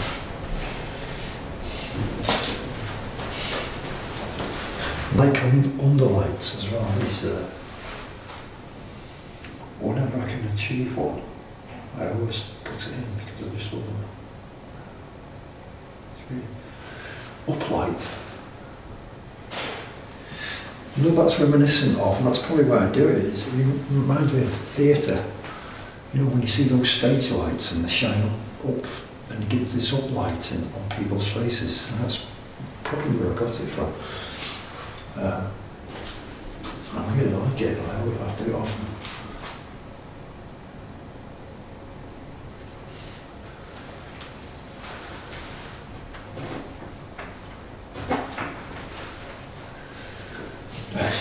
and he follows again this idea that life is theatre, you know, like some kind of abs- absurd theatre that we're all partaking in.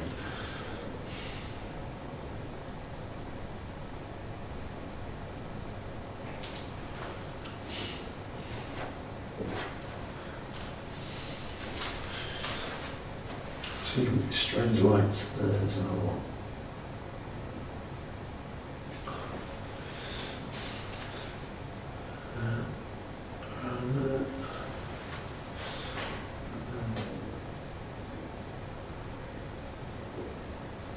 down there too.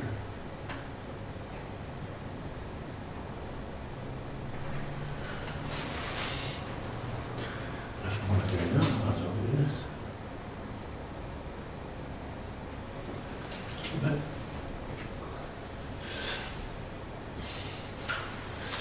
and I, uh, she can have a bit there as well. but- but, uh,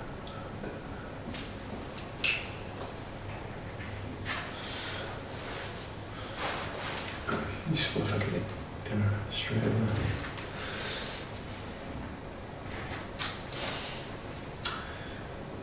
Right. Uh, I was going to. Um, I can't remember.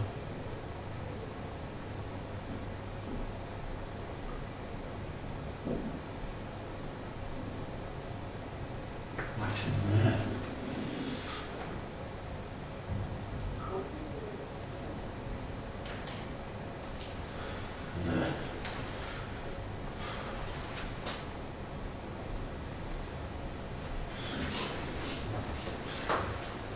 Here now.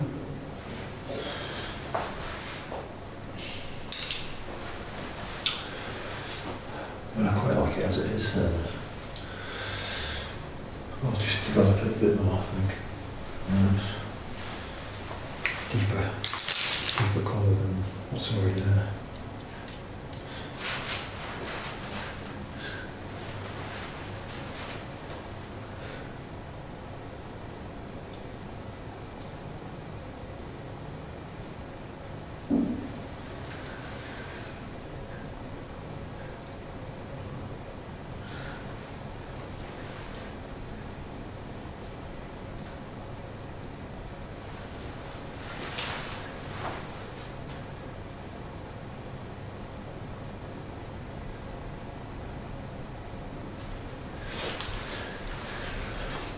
Uh, best do this, uh,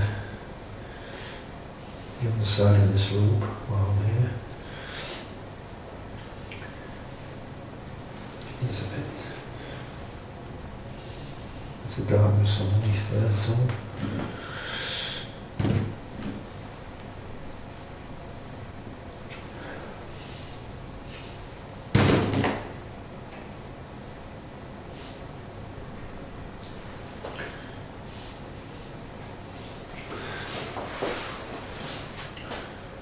Just. Uh,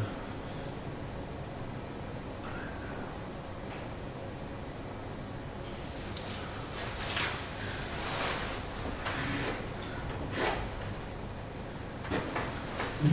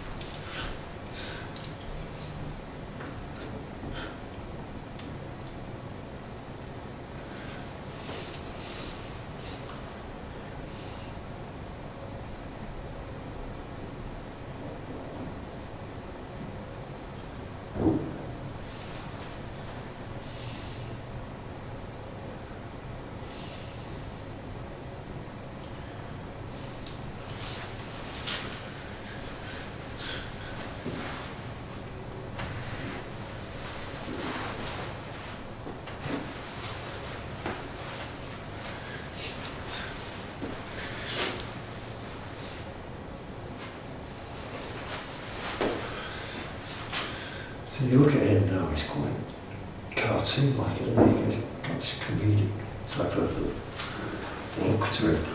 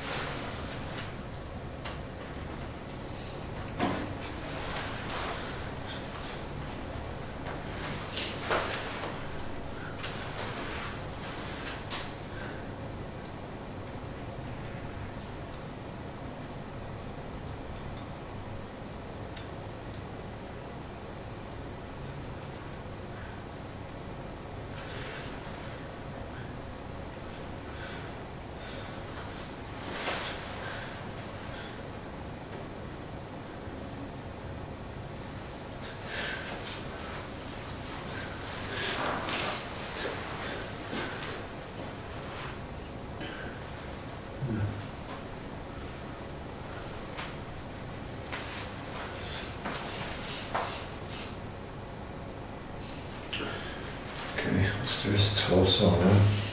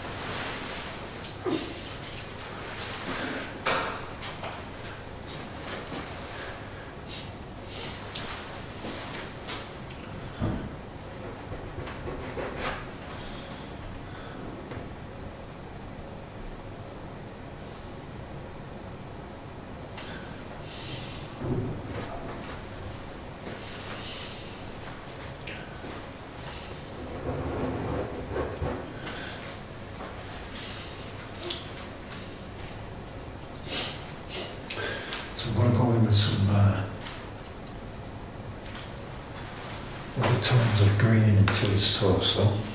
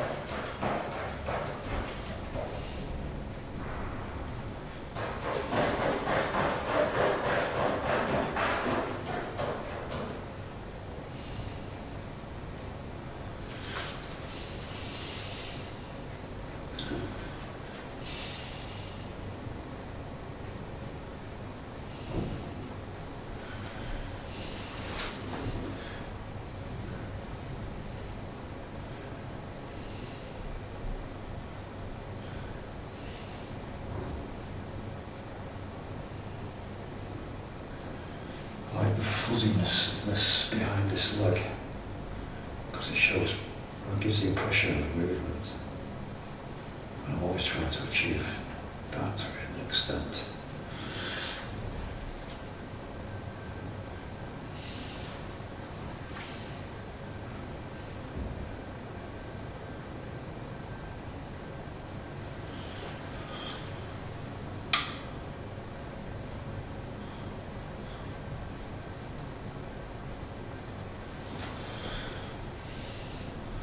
just putting in the darks where the, you know, fully where they should be, really.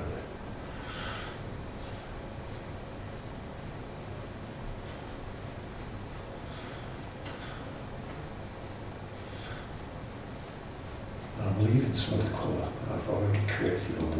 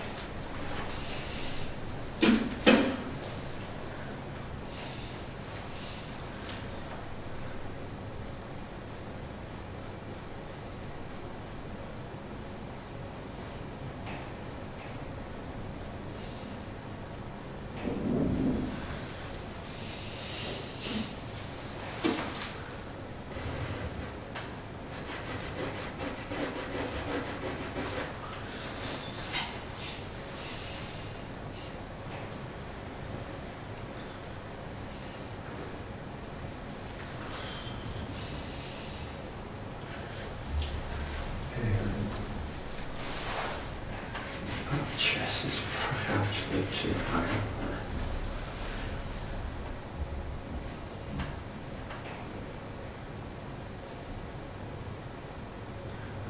I'll lower it to about I think.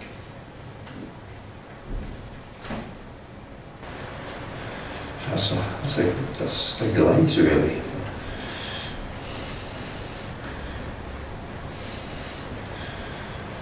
Greens tend to lend themselves quite readily to glazing like that.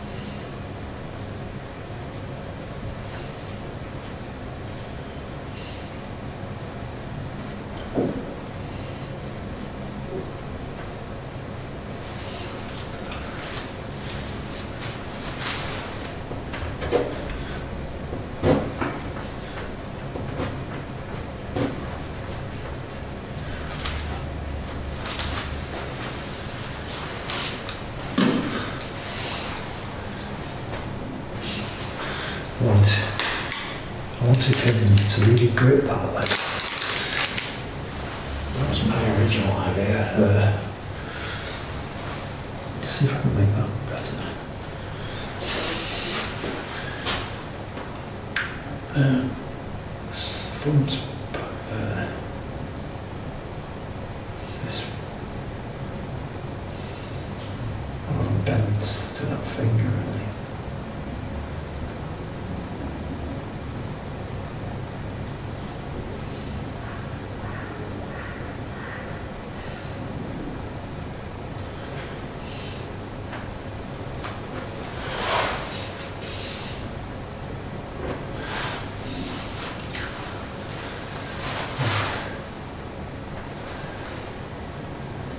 not recently, only recently put this uh, darker tone into this leg here. So I can use it.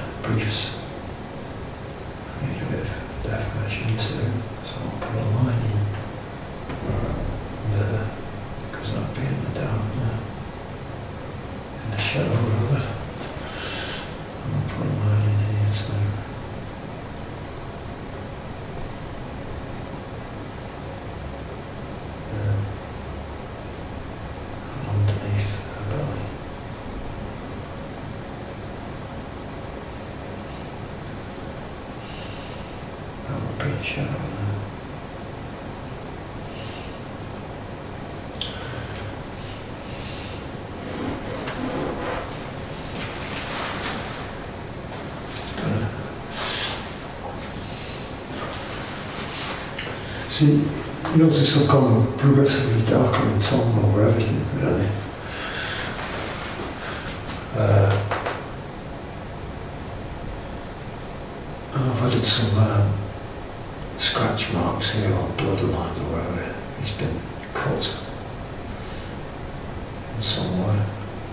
That's his, that's his life. You know, you I was getting that's a metaphor for, for abuse.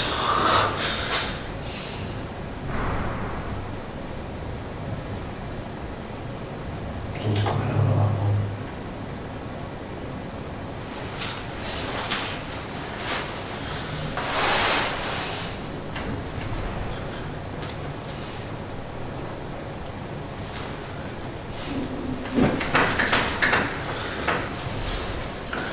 Jumping blood's eluding me.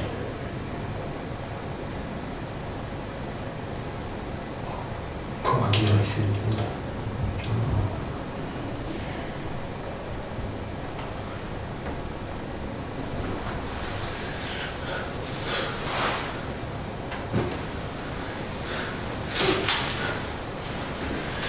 Just gonna put a line under there as well. Line there.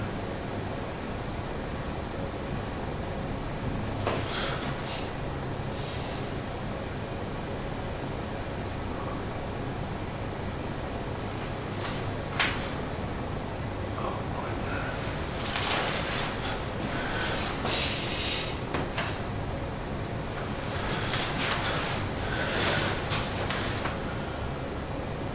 Two dark parts there. Two dark parts there. Oh. Further in the background, that bloke.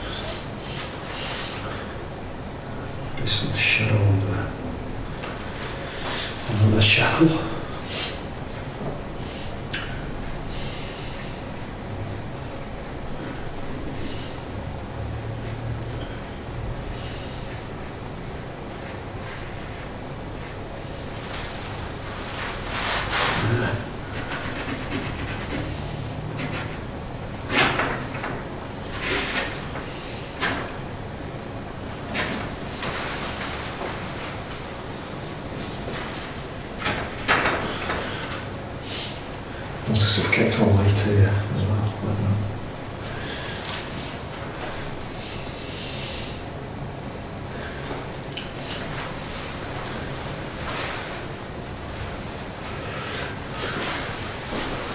Still needs a bit of decoration in it.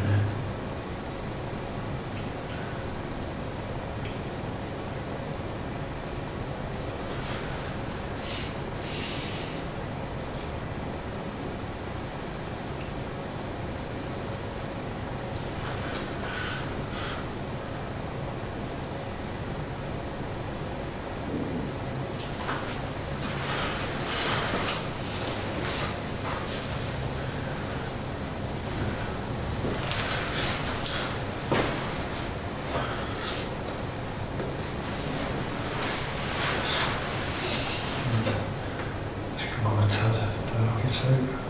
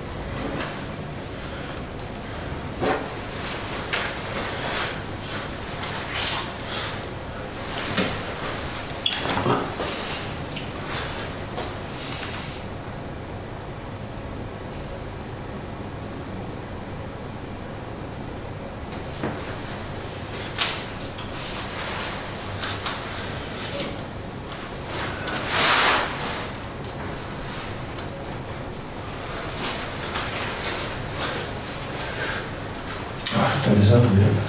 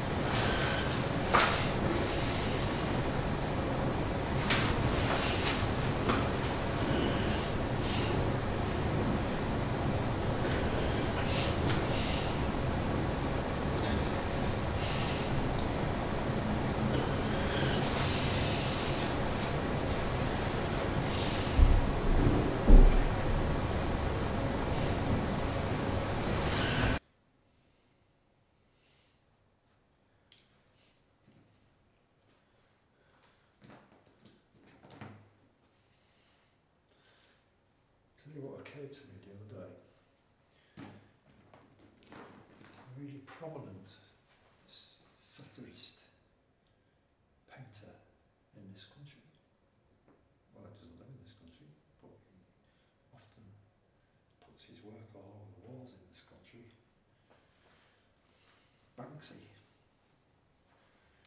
You look at most of his work, it has a strong code of satire within it. It's almost like pure satirical, almost, uh, well, it is, it's satire. and, uh, you know, look how popular he is.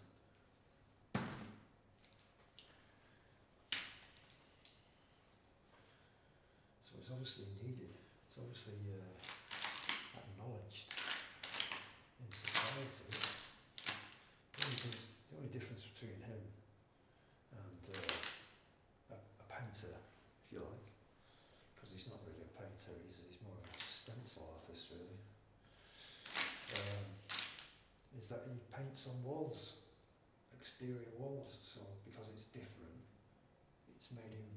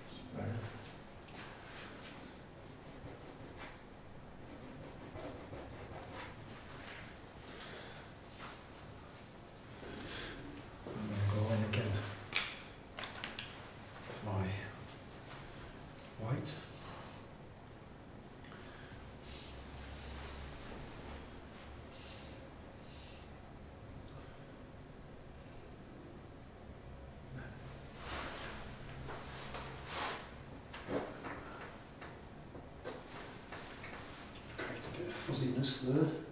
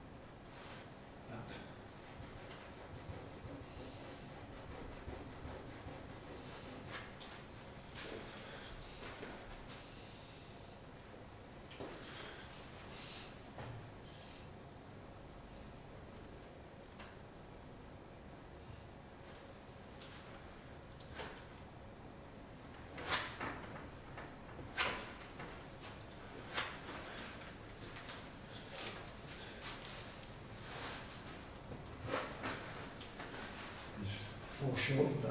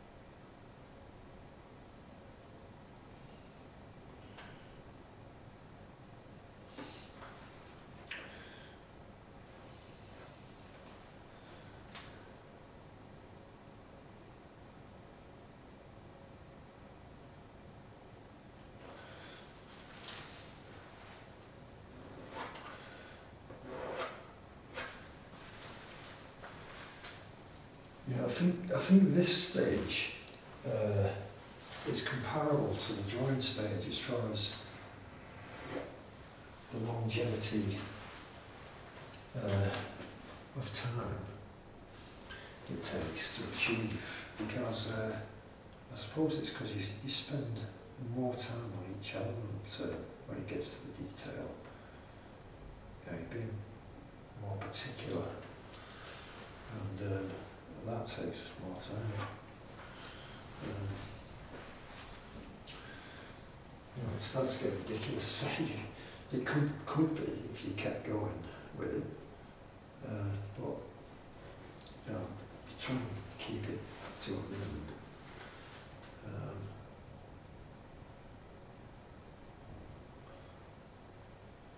as I've said a million times, it's not uh, it's not about realism necessarily, but uh, you know, I do like to get a sense of you know reality to a large degree. So you know, I do include pointers in that for an idea. Um,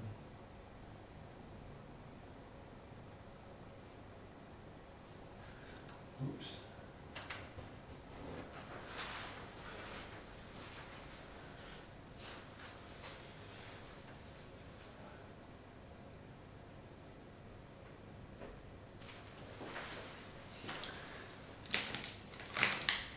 Well, he's better than he was anyway. More pronounced now. More detail.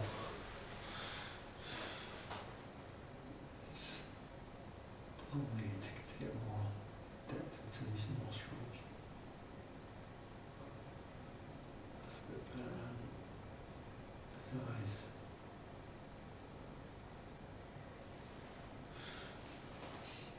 Mm.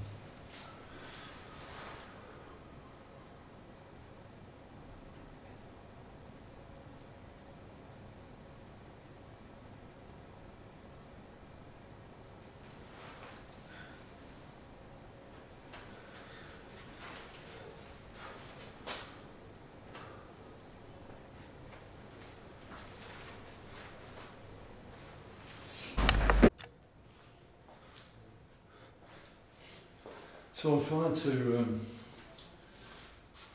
I'm continuing to work into these figures, and these these uh, foreground figures are on these now. So uh, now, now I can see the tonality of the rest of the work.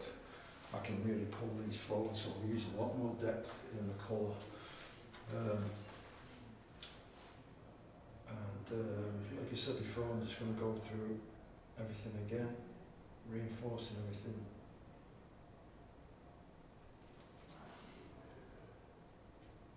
where it needs doing.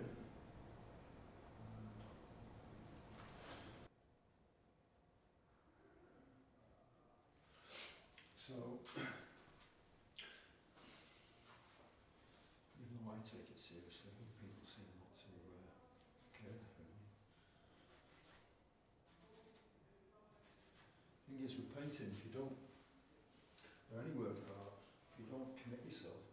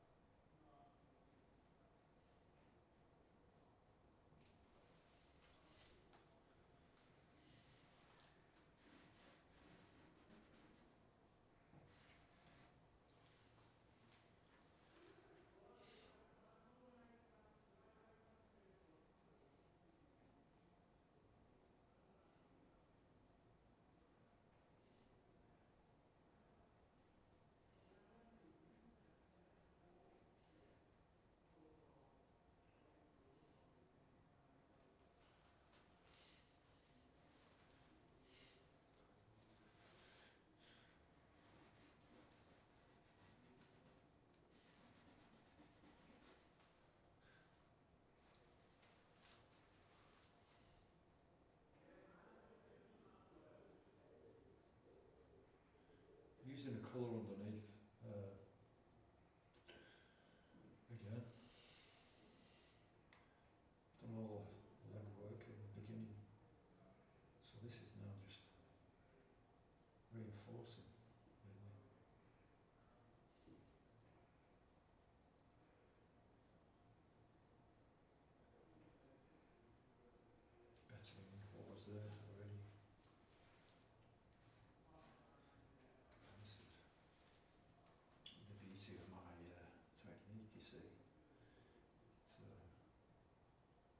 see.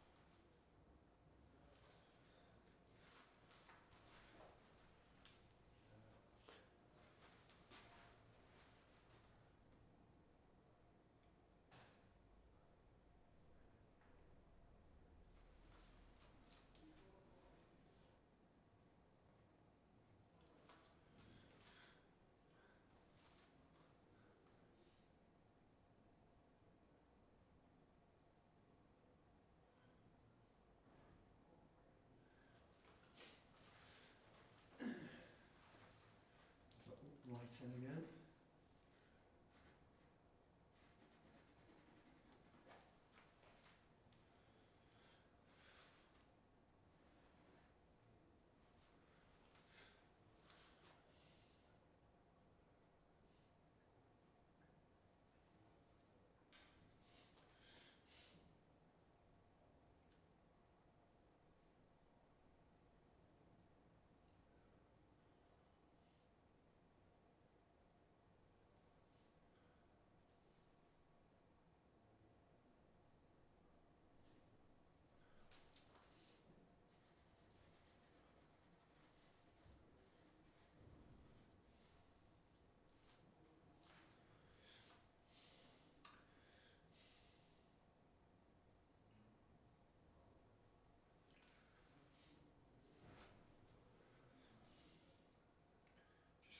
processing with these whites there, so.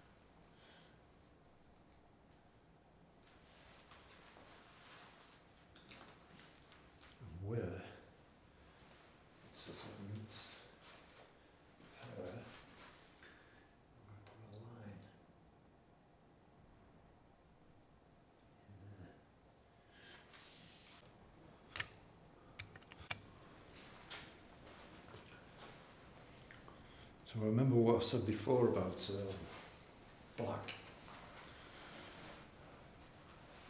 Black can be uh, too black if you use pure black. It's, it comes out flat. You don't want to be flat, really, unless you're doing a particularly flat area of black. But if you want a, a dense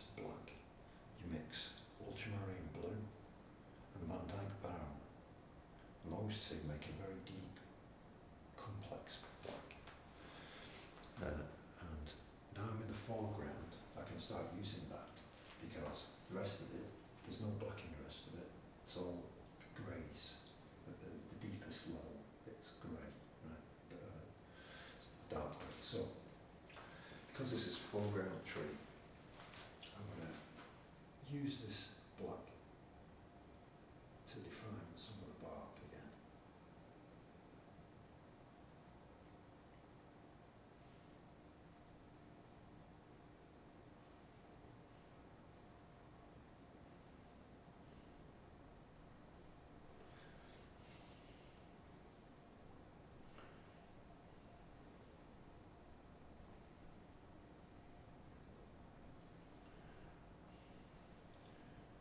Just going over where the green was in the first place, reinforcing it with the black.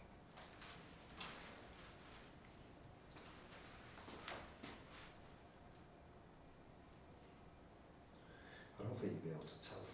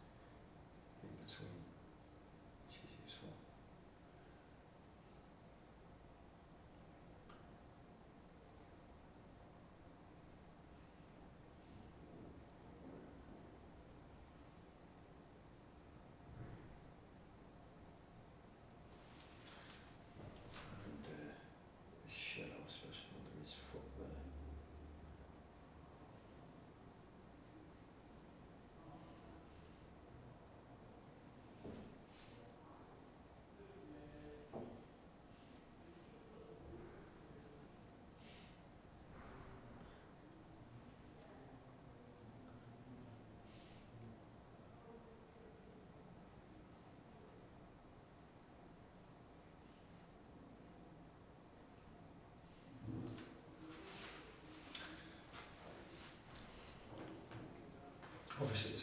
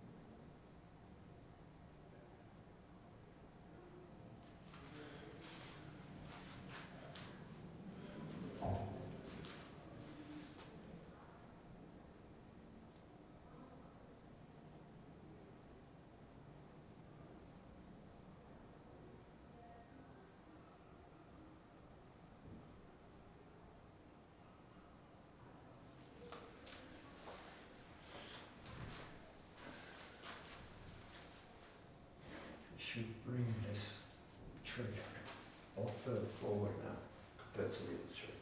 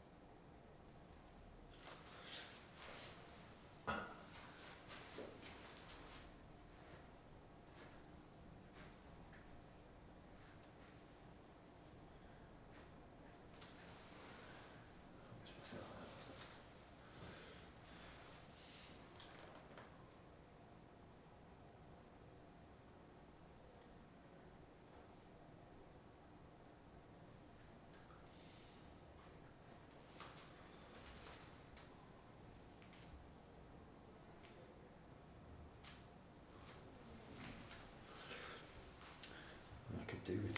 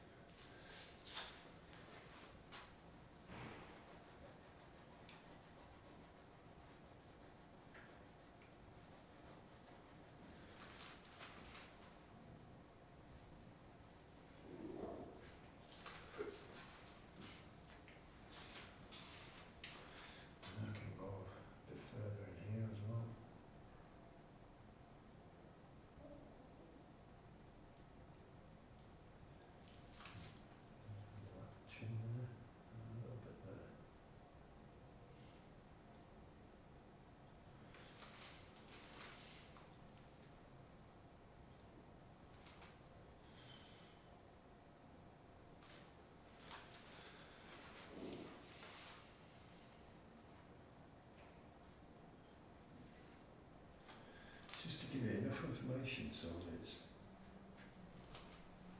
it, it uh, seems that it's further away than this hand.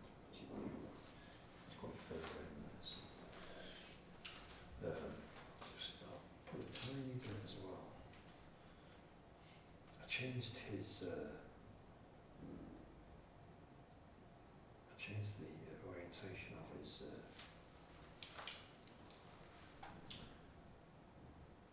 muscle on, on, on his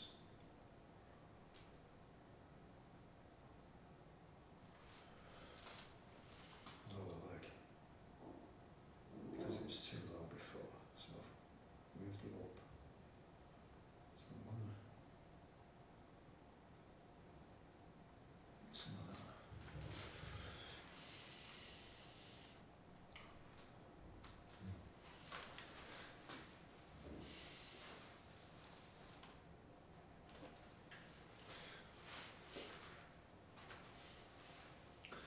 I'm also going to put some uh, tiny bit of this black in this lady's back as well.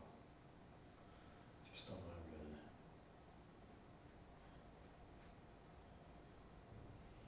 Back bone there. Over there.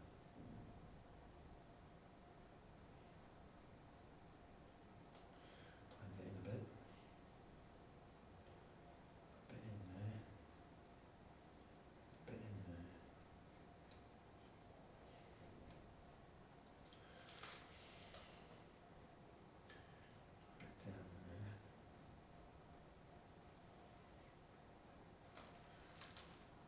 See how I'm leaving different the colours underneath.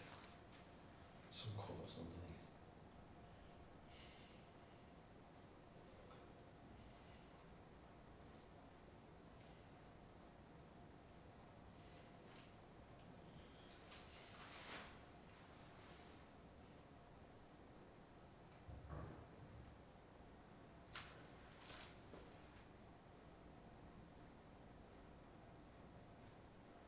It's a wet in wet te- technique that because you know the, the,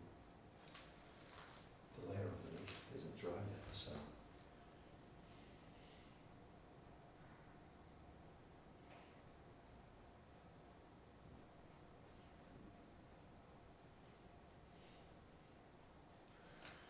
just let the paint do its thing really.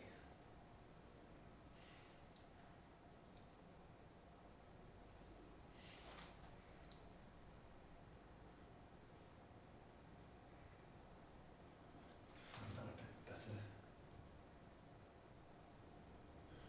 And I'll put uh, just dark one underneath the uh, cheek muscle.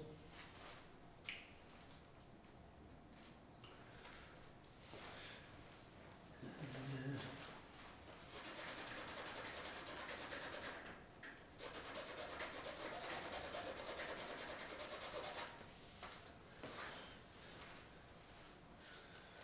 Yeah.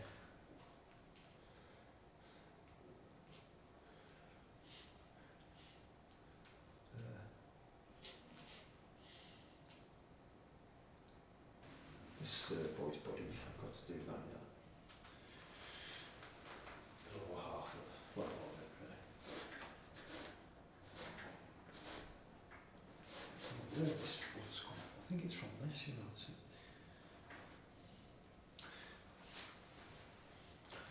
So, right, I've done, I've done that one, that colour, right, so I'm more progressively darker for the one behind it.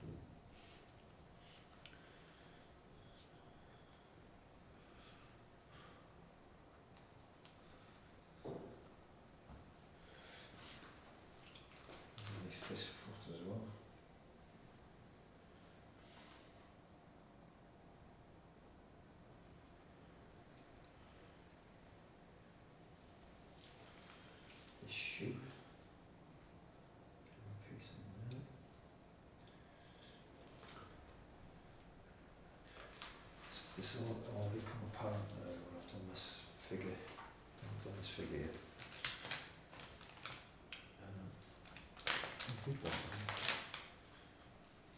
a sort of shadow there, really. So there's already one ball. Just accentuate that a bit more. Yeah. Perfect shadow.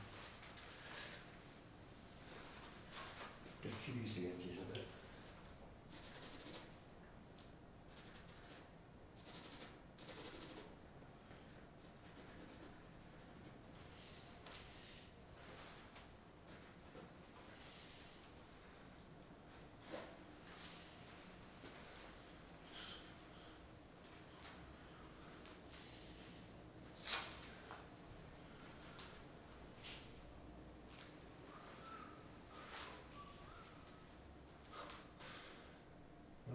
block in here, like this, this figure.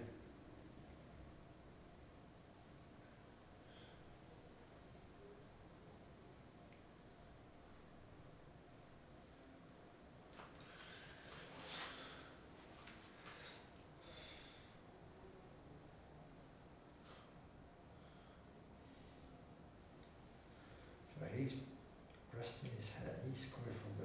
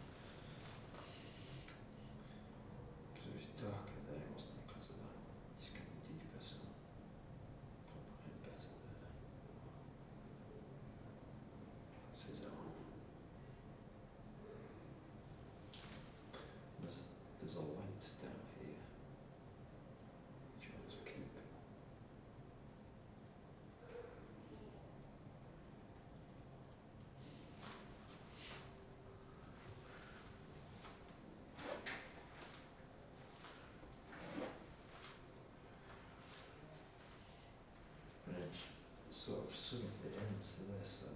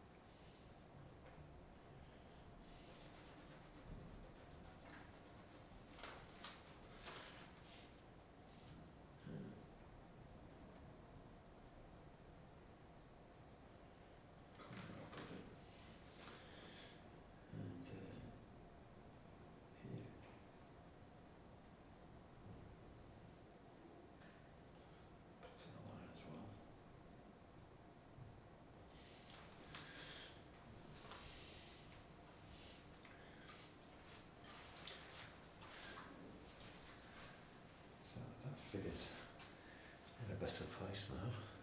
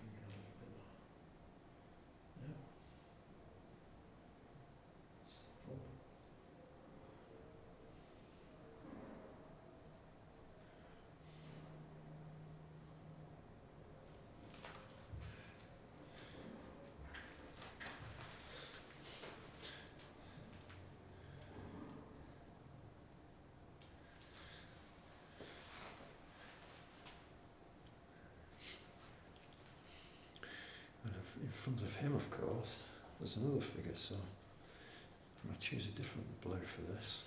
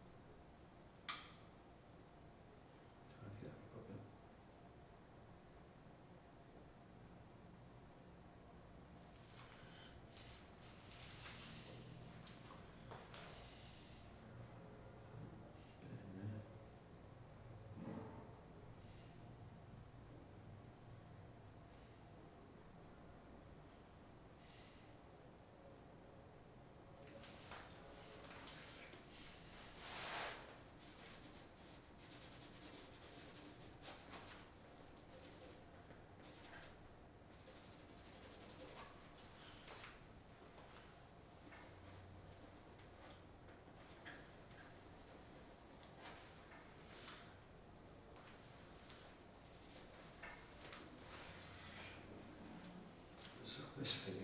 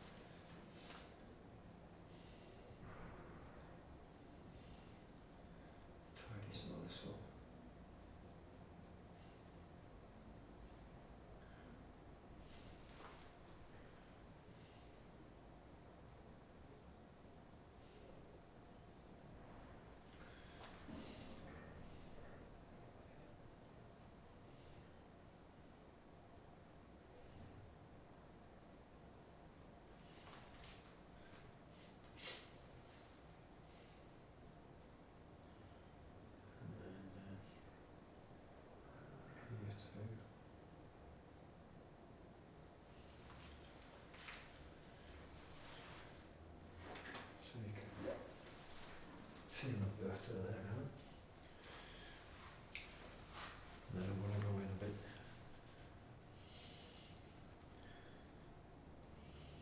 Of a darker hue than it is already.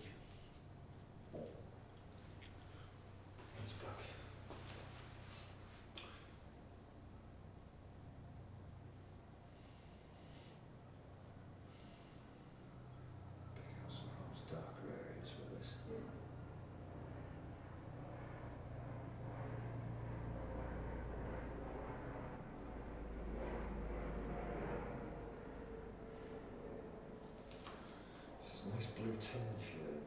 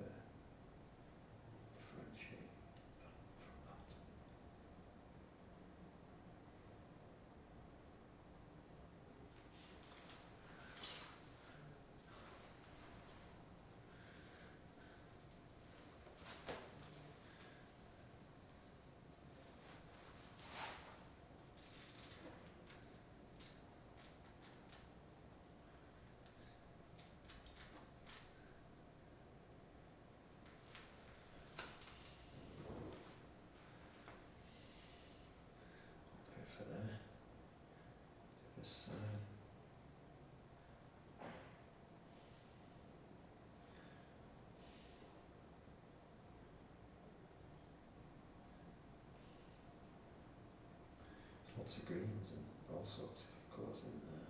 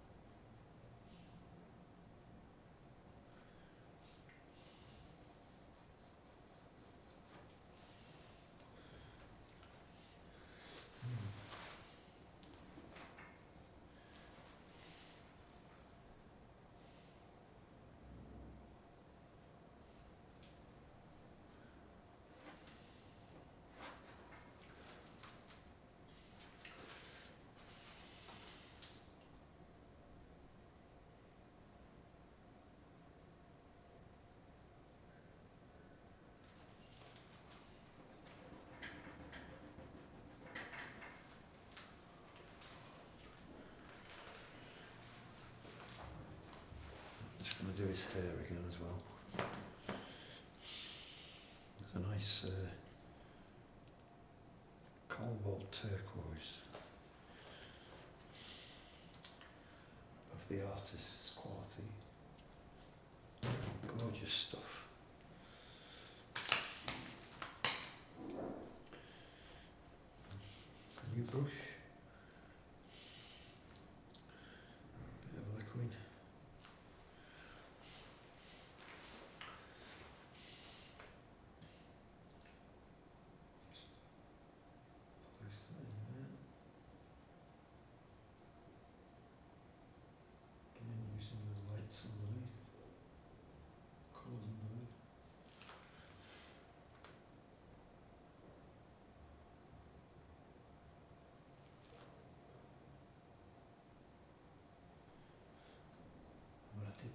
his uh, hair was a bit pale, but uh, seems, seems alright now. Mm.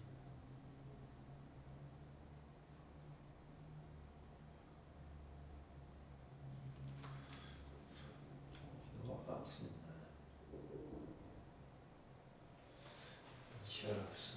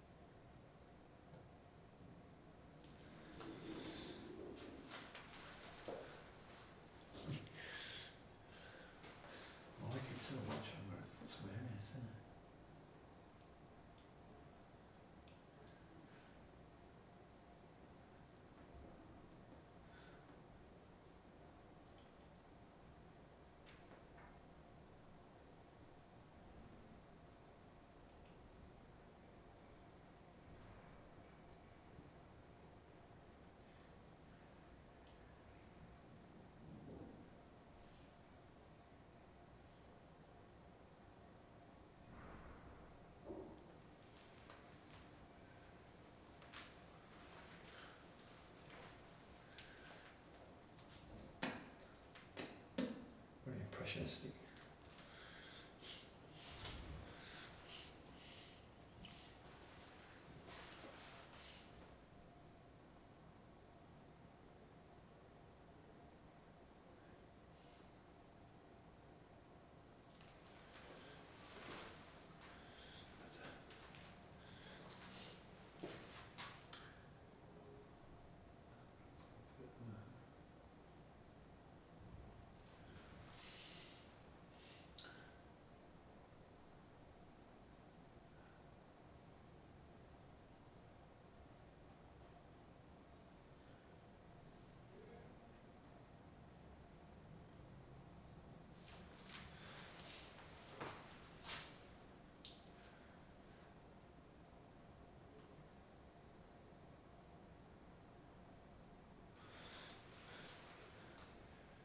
to go in there.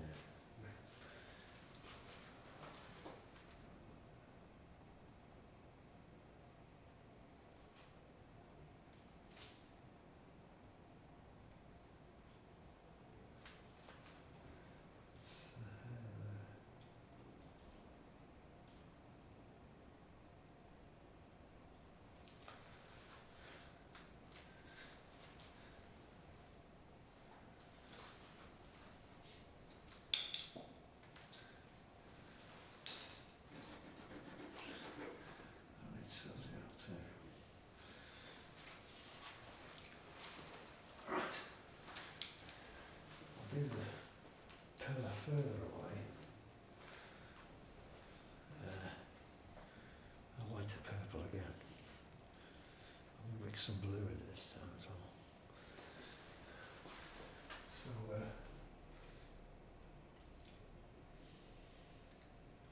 keep the lid.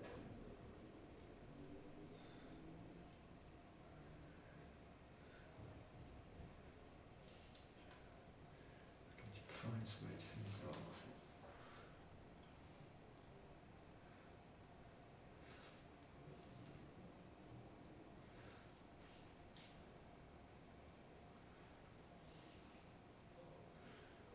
light coming from there as well. Uh,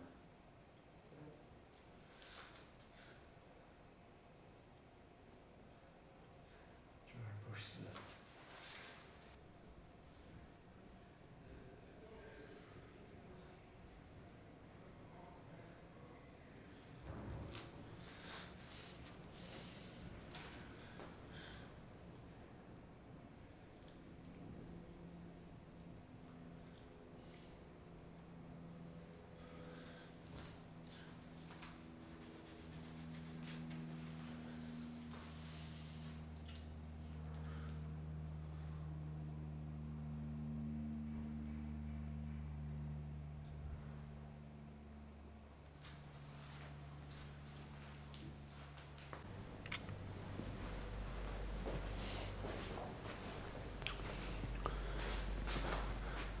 Hello. Um, right, I'm still working on the bottom now uh, with these figures. Um, as I get near to completion, uh, you'll notice a lot of them solidify uh, more, become more apparent and more um, defined. And uh, I just keep working into them and the detail until they're virtually how I like them really. And um, you know, my uh, I've said it before, but uh, my style is very uh, it's abstracted out a lot of it, and uh, you know, I've stripped away all the uh, major details and just define things with basic shapes uh, usually. And um,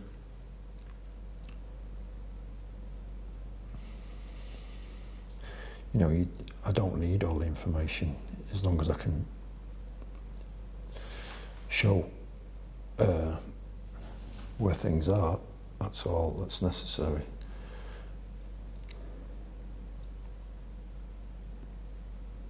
Uh, in fact, I don't like to define things really at all so much, but uh, you have to to a degree to um, give it some credence, the, uh, the illusion. Um,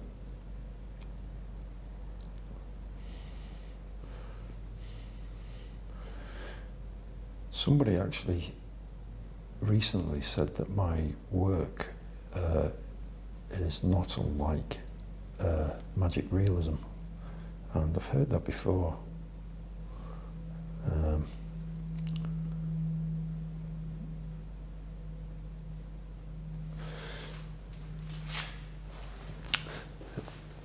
one of the exponents of magic realism was uh, Diego Rivera. Rivera.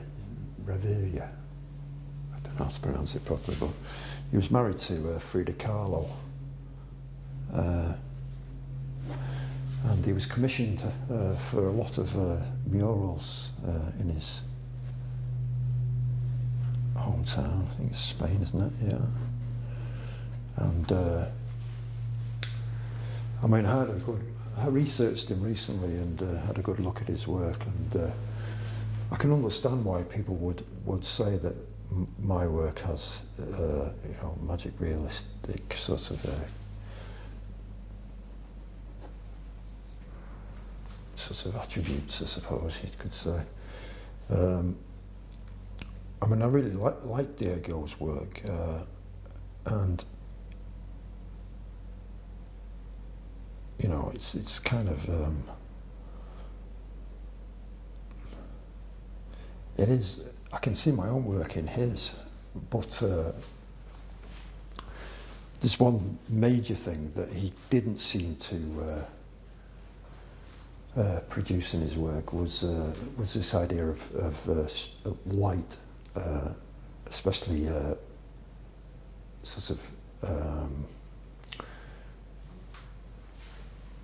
extraordinary light, if you want to put it that way. You know, heightened light and non-existent light is another one. Um, but he didn't do that, and well, very much anyway. Not as not not as to the degree that I do. Uh, so there's one instance that we differ. Uh,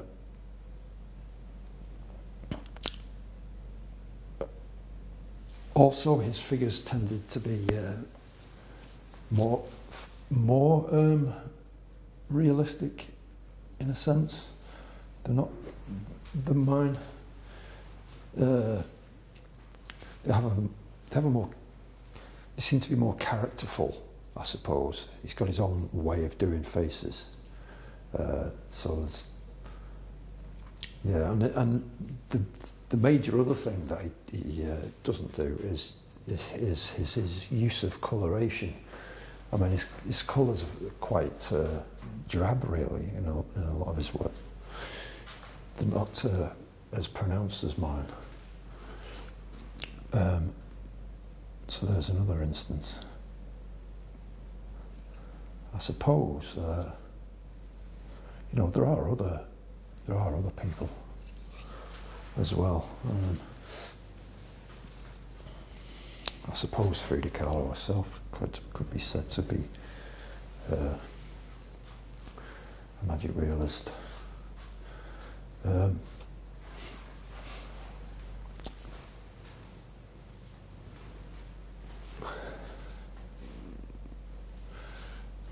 When you look at the definition of magic realism, it's it's it's it's about it's it's sort of uh, anything that shows reality to be uh,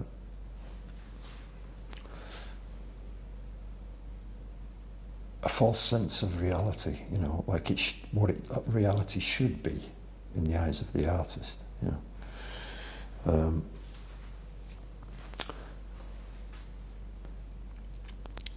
and I suppose my work does fit into that category.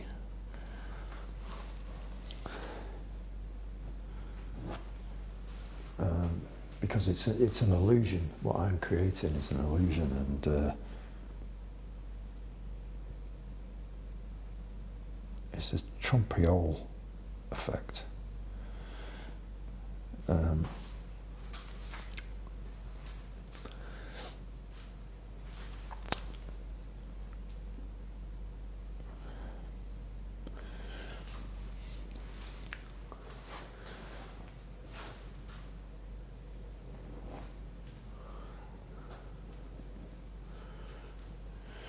going to do this this uh, this foot and this this man's head now.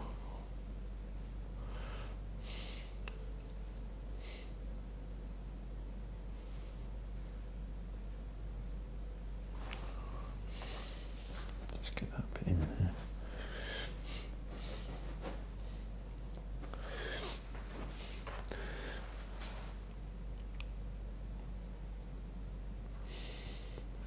Of course, uh, the likes to put artists into categories. I'm not so fond on the idea of being put into a category. You know, because uh, it's not just my style, but it's the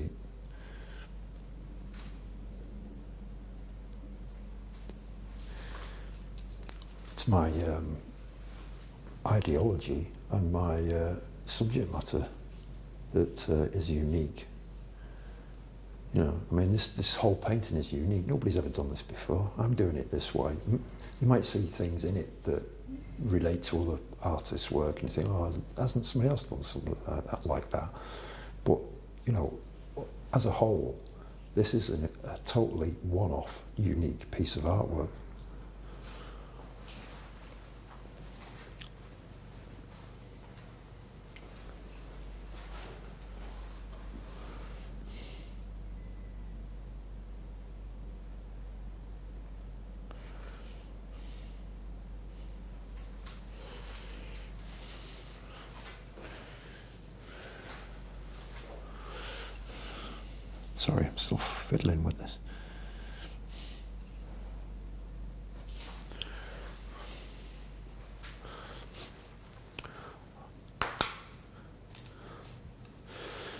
Say something about uh,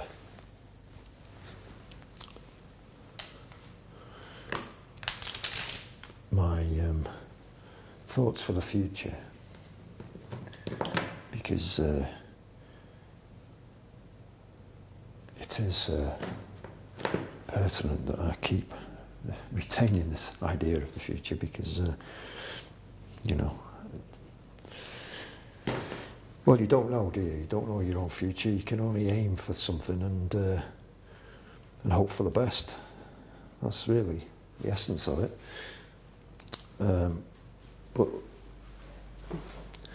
you know, I, one of the reasons I'm doing this PhD is because uh, I want to go into teaching and um, to to go to teach in this country, uh, the UK. Uh, in uni at university level. Uh,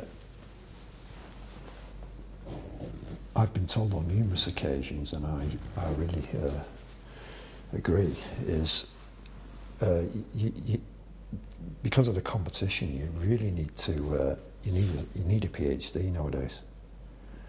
Um, you know, apparently, you know, universities won't even give you a second look if uh, you haven't even, you haven't got a PhD. So that's that's the uh, the reasoning for me doing this PhD.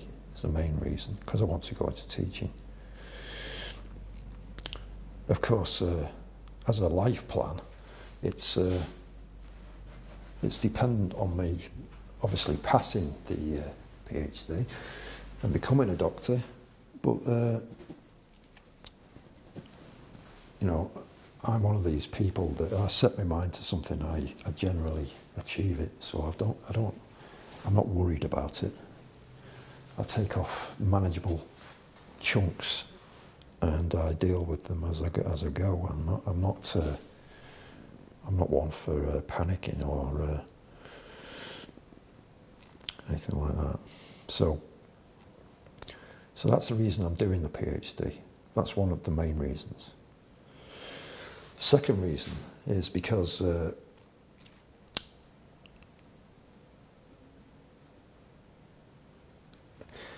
somebody somebody said to me recently. It's not about uh, vi uh, validation. It's about credibility, and and I suppose that is the essence of it, really. You know, I'm. I'm uh, I don't know how the art world is going to uh, respond to what I'm doing. You know, I haven't a clue. I'm just, I'm just doing what I'm doing and hoping uh, that somebody somewhere likes what I'm doing, and uh, you know enough to give me an opportunity. Um, but I'm not holding my breath. You know, I'm not. I'm under no illusions.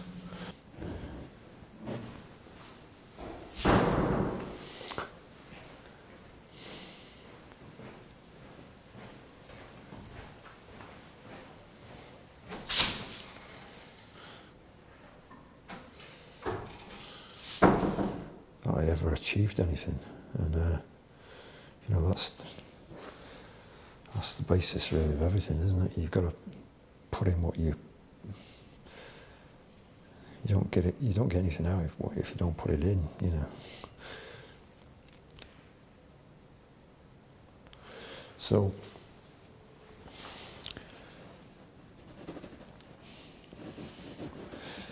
you know, being being accepted by the art world is uh,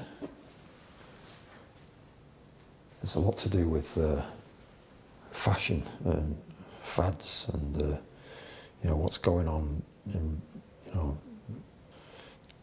in the market, the art market today, and uh, you know it's got a lot of variables really, but. Um,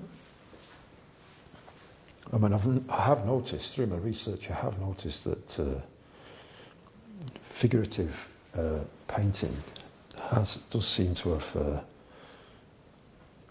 does seem to be a, a bit more popular nowadays. Um,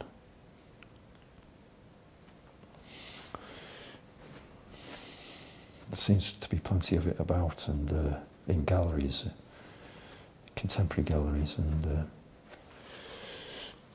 so you know I'm, I think I'm in I'm, I'm in the right place, sort of thing.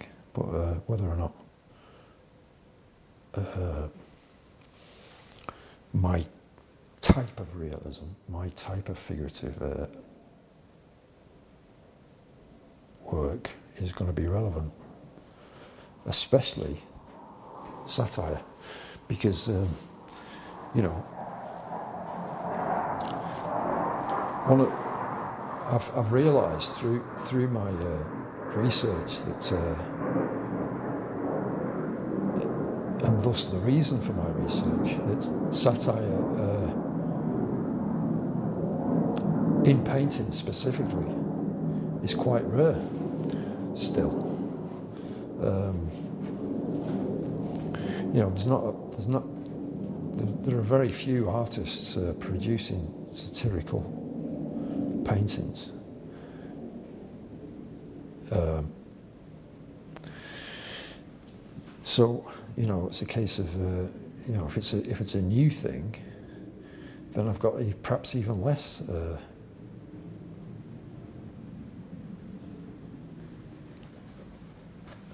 chance.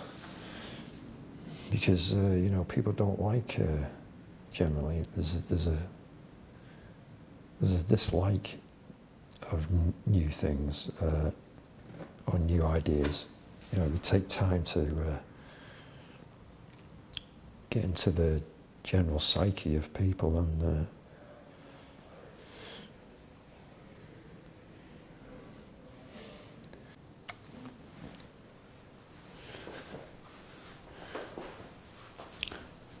I'm going to do his hair now.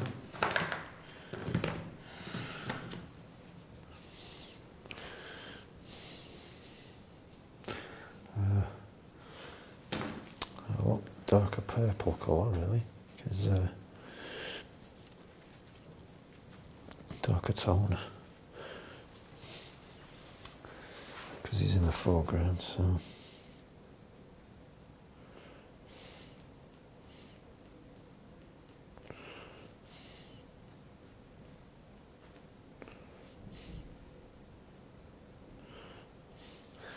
I like doing her. It's because it's very free, and um, everyone's. It's all very different uh, every time you do it. um, and I like to. I like to stay loose with her. You know. the- And, uh,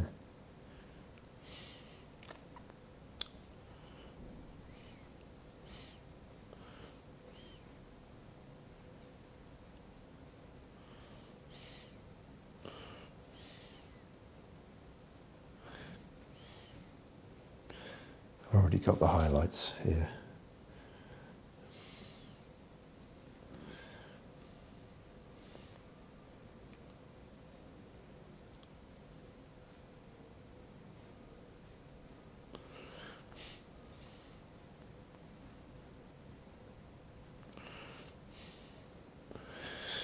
Uh, he seems to have a, quite a lot of it, so don't mind that. Give him, even though he's quite, he's getting on a bit. I think this guy. He's not young anyway. So. Bit on his neck there.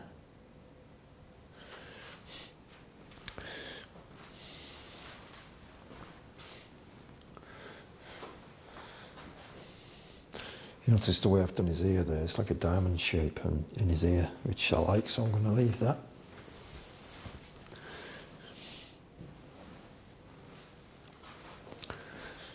Talking about realism before, well, you know, you'd, never, you'd not get that in reality.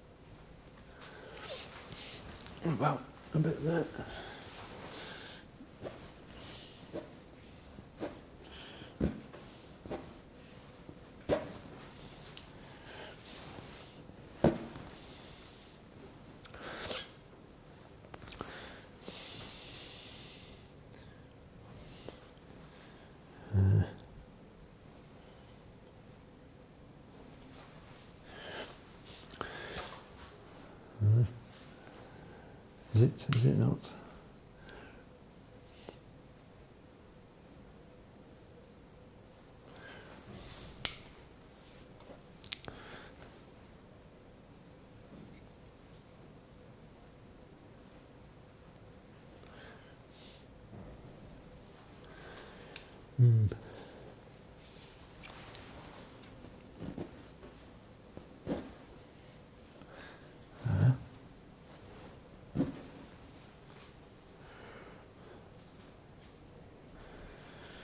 That's okay, I think. I'll do his eyebrows.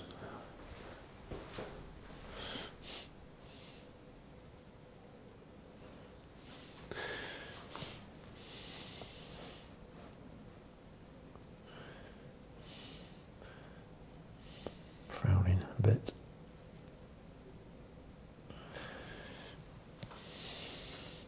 See, my figures, my figuration, it's, it's the characters.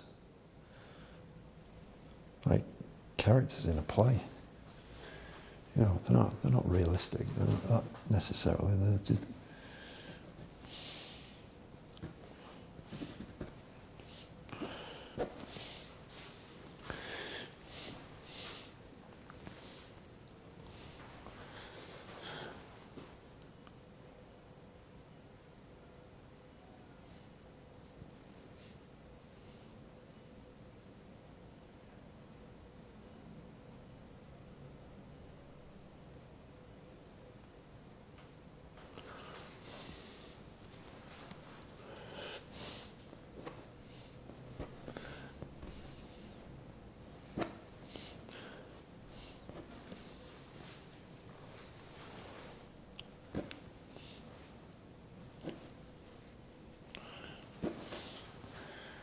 just as life is, really. We're all characters in a play. Think about it. The ridiculousness and absurdity of reality, society, everything. It's quite weird, really. I often think of that when I'm out and about, and suddenly it occurs to me again. You know, suddenly think, well, what a weird place we're living in. So, yeah.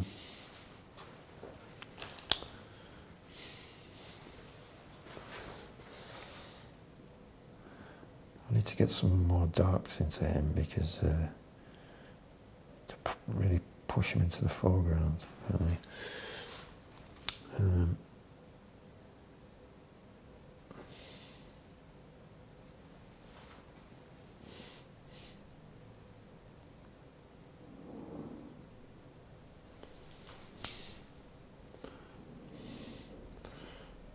So I'll give everything a another going over. So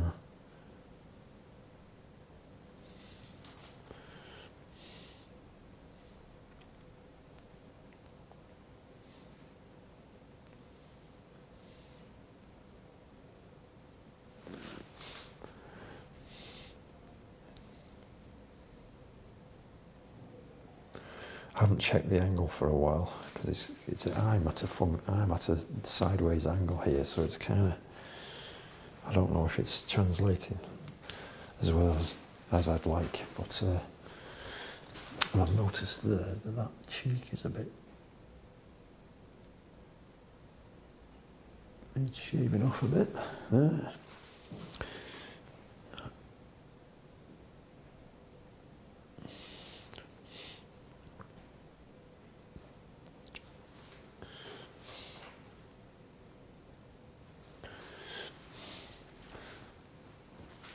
Can do his hand here now as well. Up here.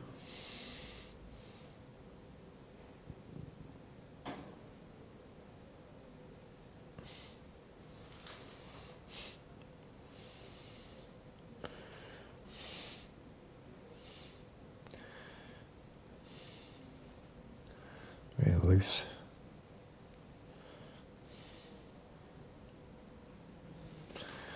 I really like that blue though. It's nice, I like it.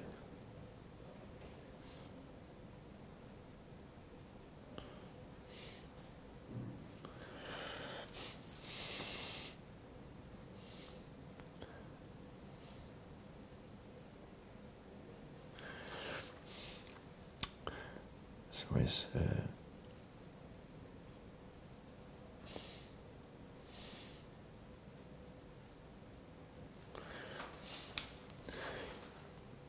knuckles will be up there somewhere.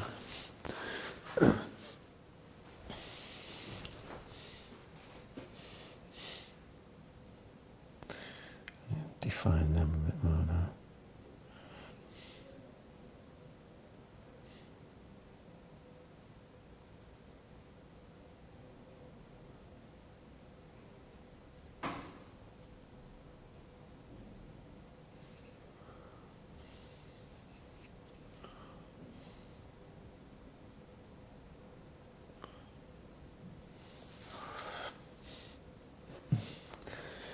Uh,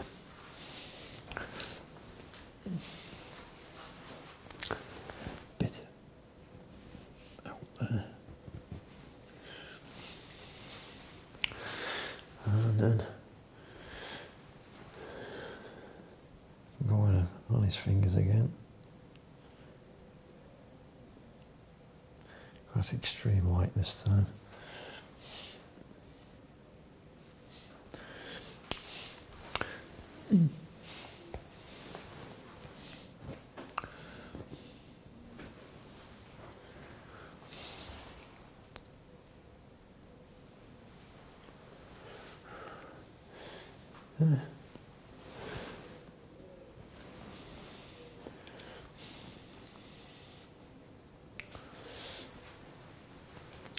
I can go in again with these darks. With his eyes, especially. And his nostrils. And.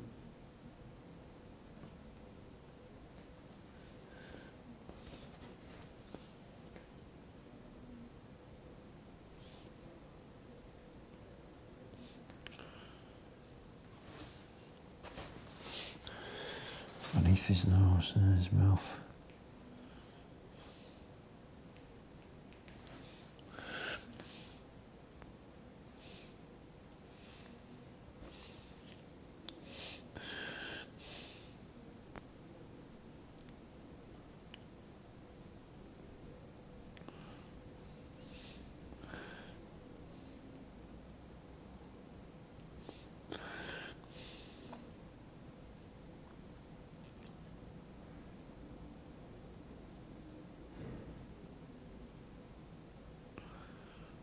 Bit better there.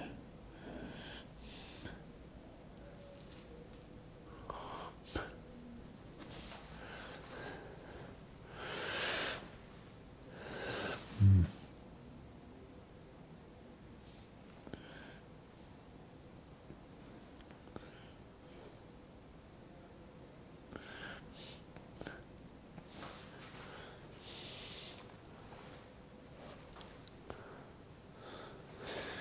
Oh, put a nice dark area in there.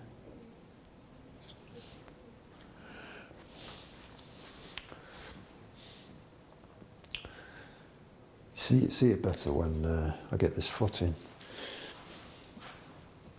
But, um, there's also underneath, underneath that.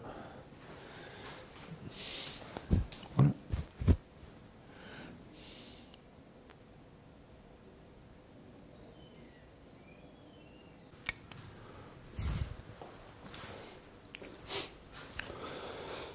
Hello, so I should get this finished today. Um, hopefully, no disturbing people or things, and I have to keep editing the film, by the way, because of all the noise. So, just the way I, just the way it is, I'm afraid. Uh, so I'm going to. Uh, I've just got a few more of this this area here. I'm finishing, uh, and then it'll be virtually there. So. Um, I did realise while I was here that uh, he has no ear, and uh, rather than doing an ear, I'm going to give him a, put a hole there where his ear would have been.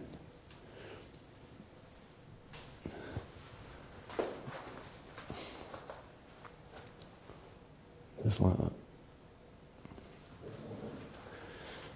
Um, I'm going to go into his uh, mouth area a bit more as well.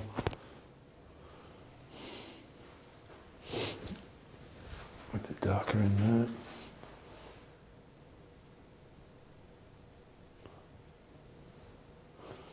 bit higher up.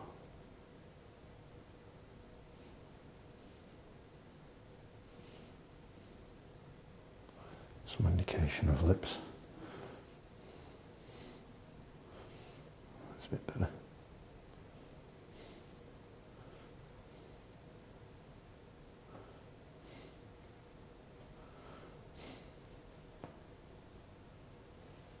Should be about there, wouldn't it?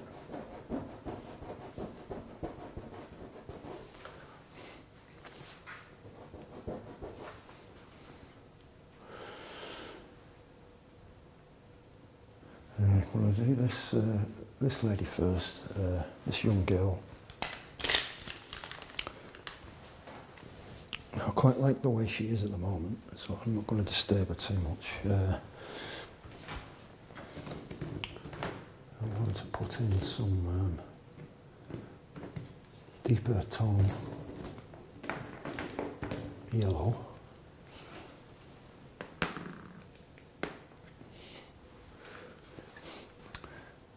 I say, if um,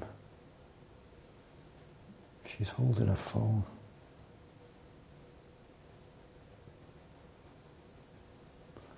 A mobile phone there. Uh,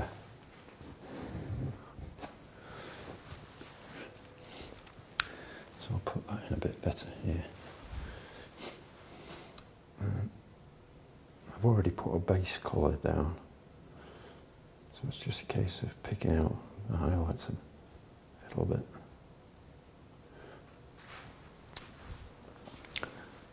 If, uh,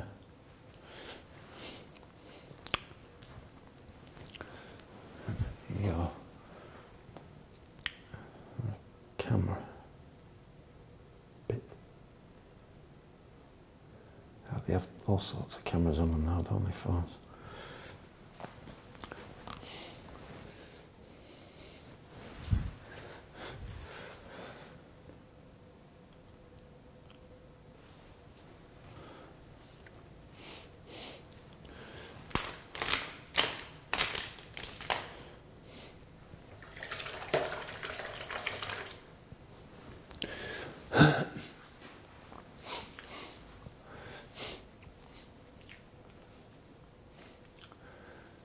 Like I say, I, I normally get to this sort of fourth layer of paint and uh, things become resolved and uh, it's not to say they're going to be finished, but I mean, it's, it's sort of 98% there sort of thing. Um,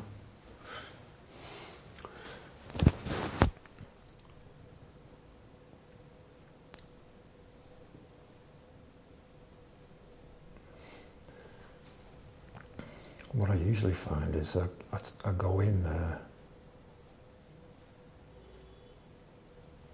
later, um, perhaps even weeks, you know, months even later, uh, to find something else. Uh, and um, so it never seem they seem to always be in this sort of transitionary period. Because, you know, you, people change from day to day, don't they? Uh, I certainly do. You know, I can, some days, um, you know, I can really, uh, I mean, really in tune with my work, and other times there's a deficit there, you know. It's usually to do with life, really you life struggles.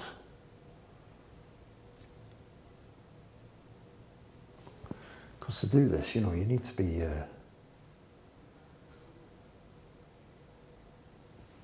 really in tune with it. You know, it's a, it's a contemplative uh, place painting. It should be, and that's what you hope while, while you're um, producing it, and also you hope it's for the, the, viewer, the end, the end viewer. So, uh, you know, you're supposed to view it in your own personal space. That's, uh, you know, so. Uh, now I've got this red, I wanted to define these here a bit more because they're uh, a good uh, source of leading the eye up there.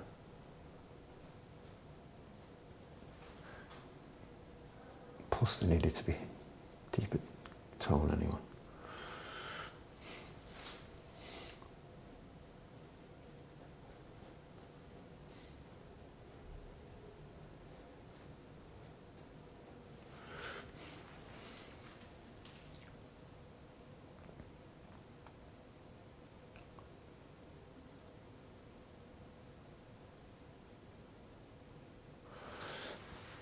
See, all, all the time I'm just trying to imbue the whole thing with some kind of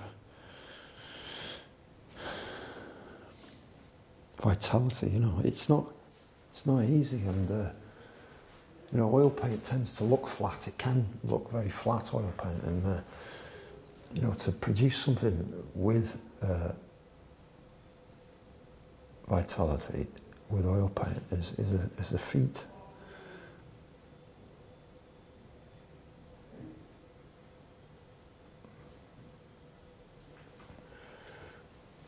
So you just try and, uh, I mean, colour's a good way of doing it.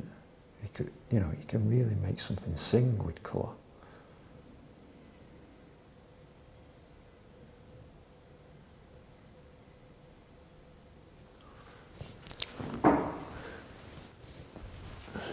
And it's sort of knowing which colours go well next to each other, really, to produce the, uh, the effect.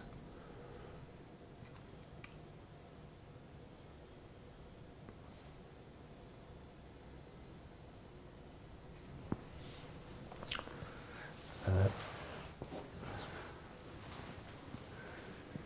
anyway.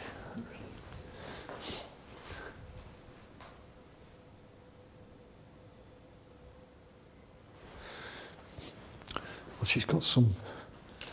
She's got some uh, her now. Uh, sort of.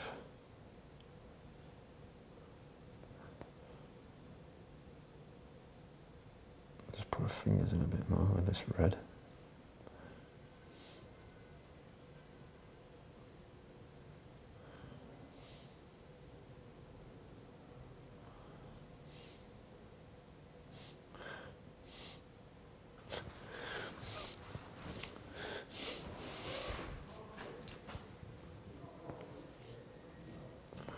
That thumb will probably be further over, to be honest.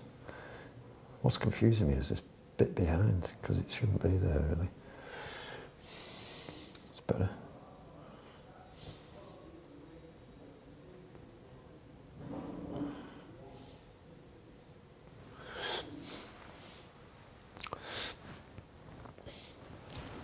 Got to keep in mind that she's quite far back there in the picture.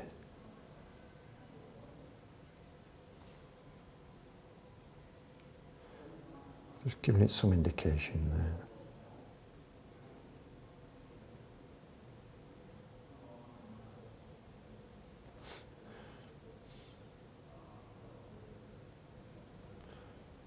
Bit there.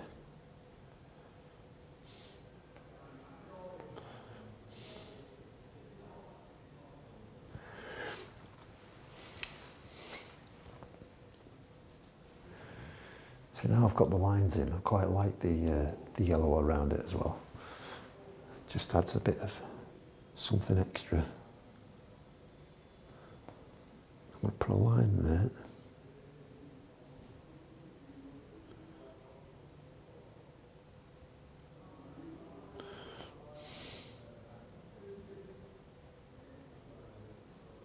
Bit in shadow.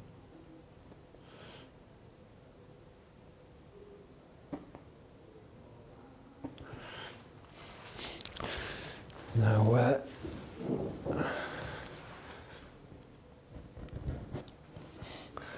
Do this lady, and uh, I want to.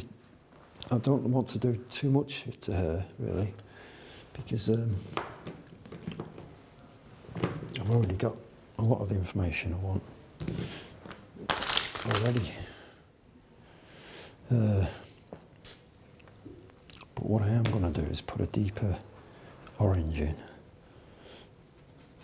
to those orange areas. Uh, where it's in shadow. So I'll put one in there. I'm just following what I've put there before. So uh, uh,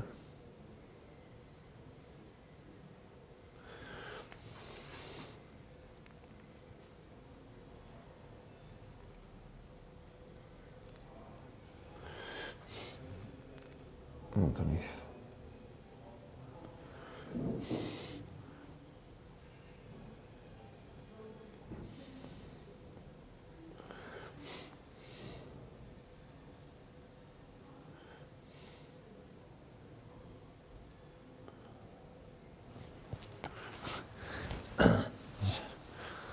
There's bell there.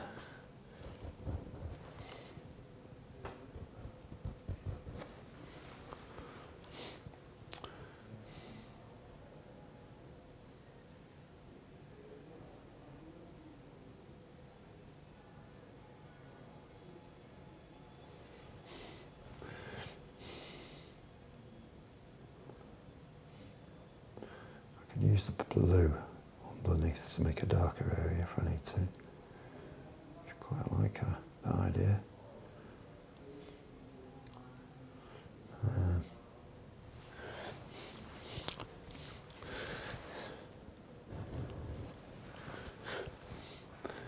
see, it's all over the place, you know, there's no, uh, this is really abstracted out here.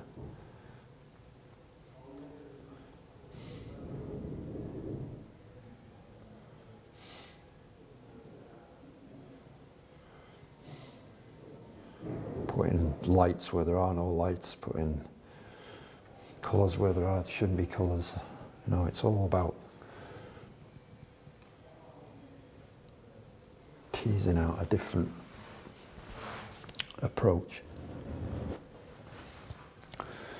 Now, now that I've seen that brown there, I'm going to put some more in there, see where it is in shadow.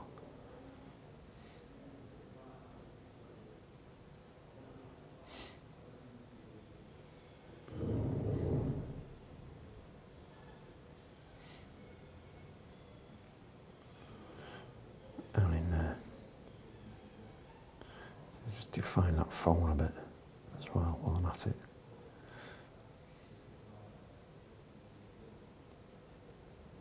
Keep some of the blue, like there and there.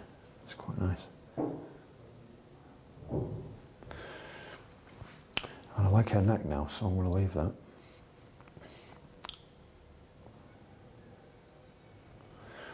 Uh, let's do her arm here. And uh, no, this is, uh, I don't want to touch this too much because of, uh, I like it as it is. I'll just put a line of that there and a line of it there.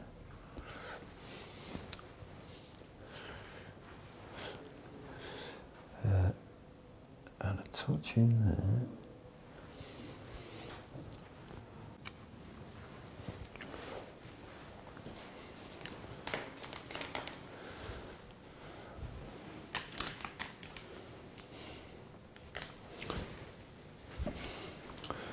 I'm going to do this jester's hat now.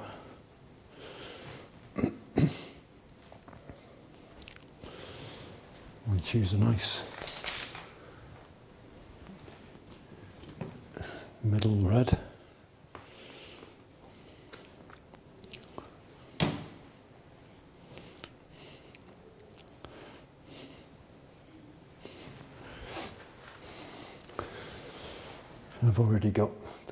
Underneath, so it's just a case of uh,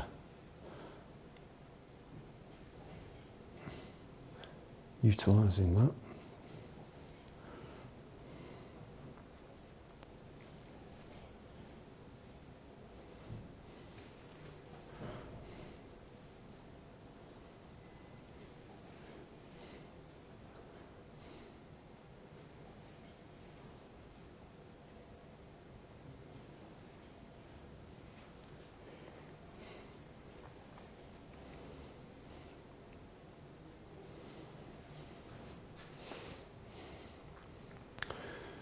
And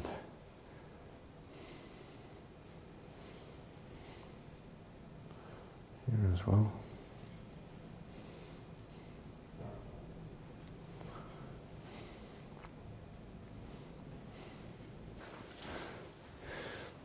Just so it's really defined around this shoe here.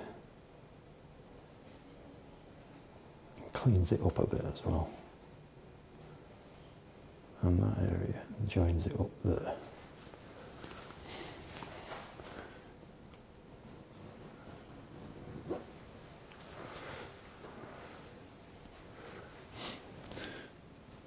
And then, oh, I've some red. What it looks like.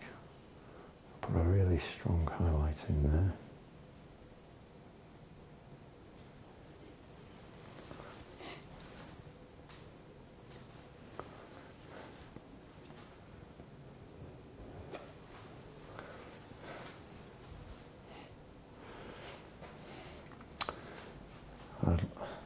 See, I've got an underlight here, which is it, it's a it's one of those um,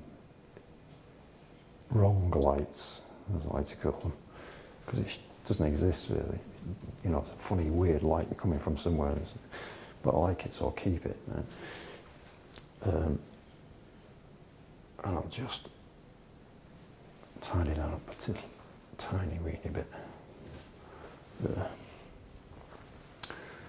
Do the same the other side.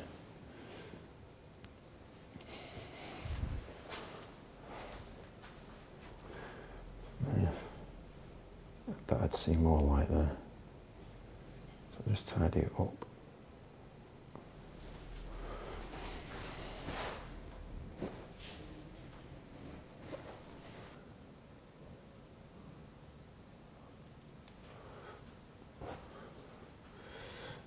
So I'm going to pick out the things that I liked before. Oh, that mouth can change. I knew that was going to change.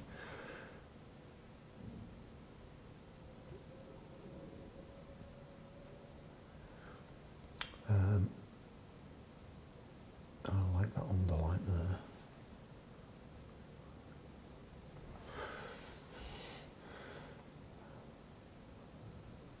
I mean, really, I just need some more uh, depth into him. Moment, he's a bit sketchy.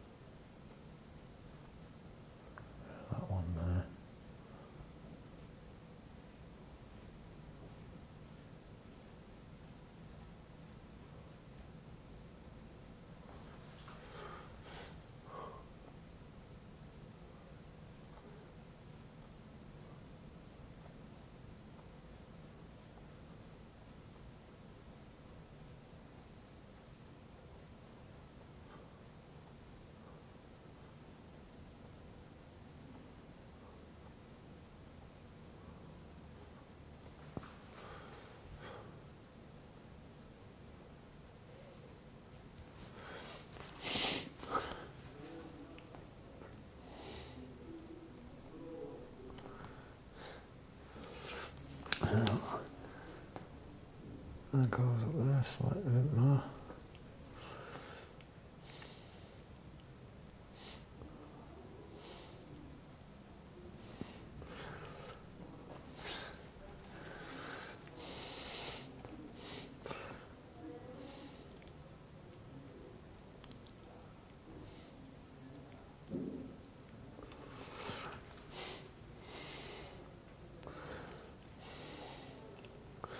Mm.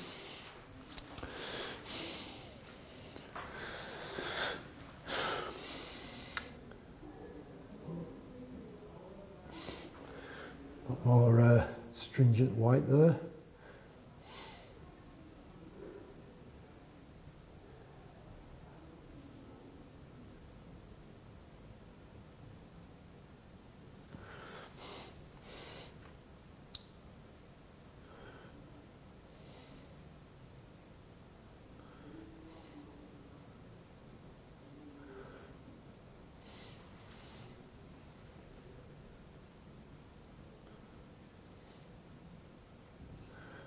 That? Don't know what that is.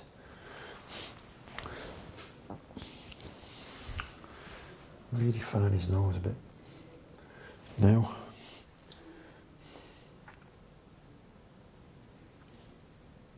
Got a bit of a bridge.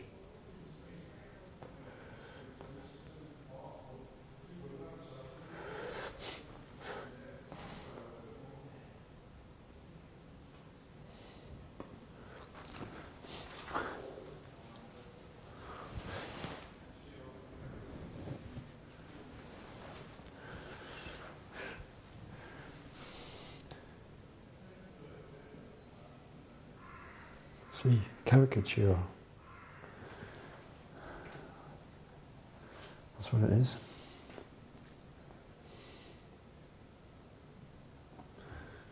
Of an old guy.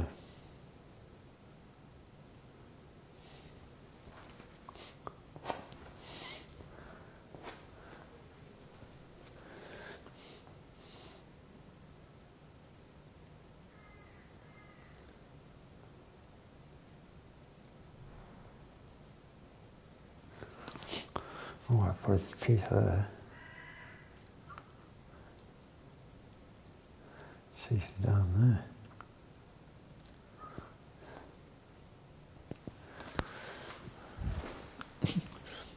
Put the red back in.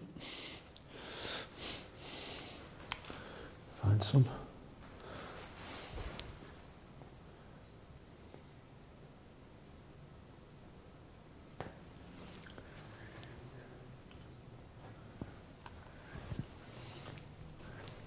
don't know he's but it's.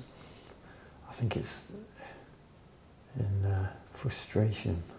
He's got to the end of his life, near enough, and he still hasn't achieved anything. He still hasn't got to number one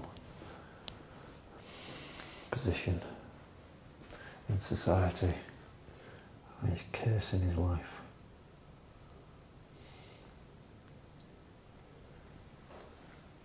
Because he hasn't achieved anything. The idea behind?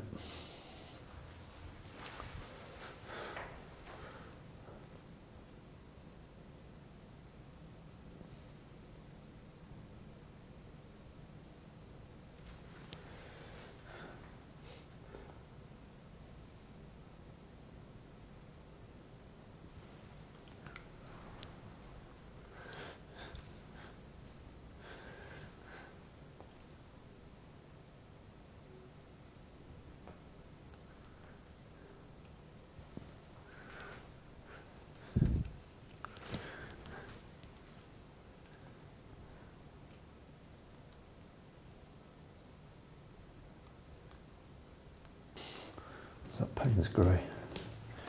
I was going to put some uh, more darker tone in the um, shackles.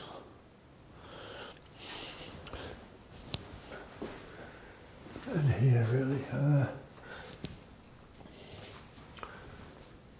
especially on the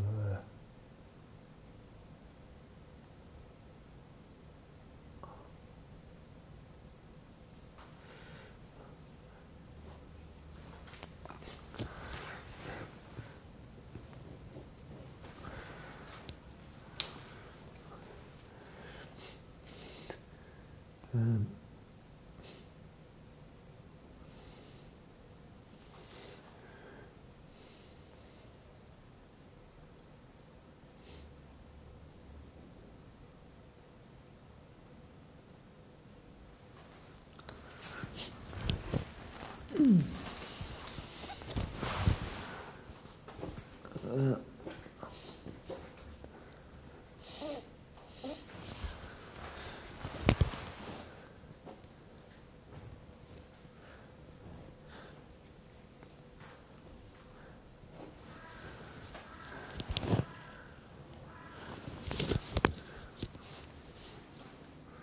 funny thing, metal. It's sort of.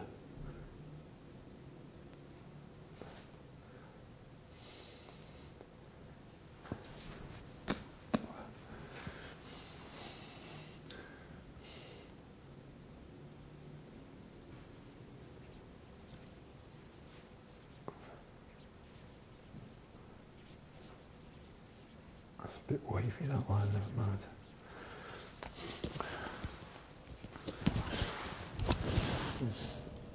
Uh,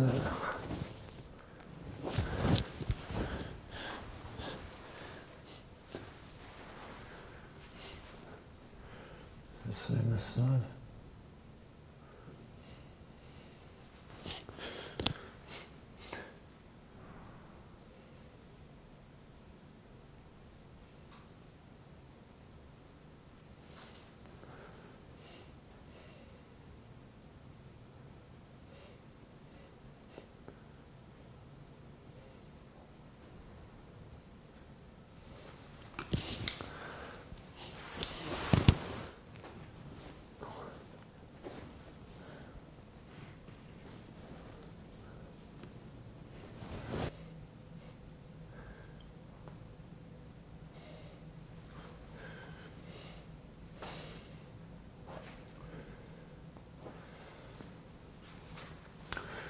Mhm. Uh,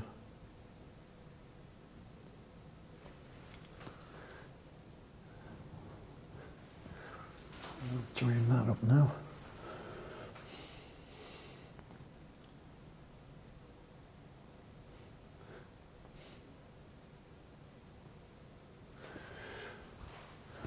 It's the same with the other.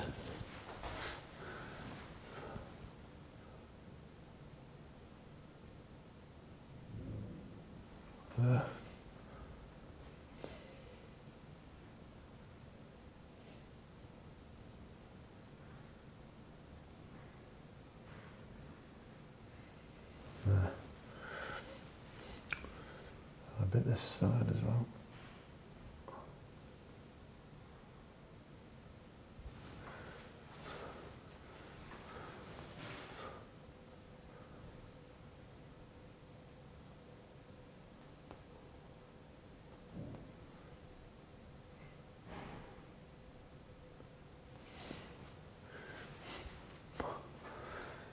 and uh, and then at the top, steady hand. Should do a do a rule a bit really. Let's do a rule a bit. Let's tidy it up.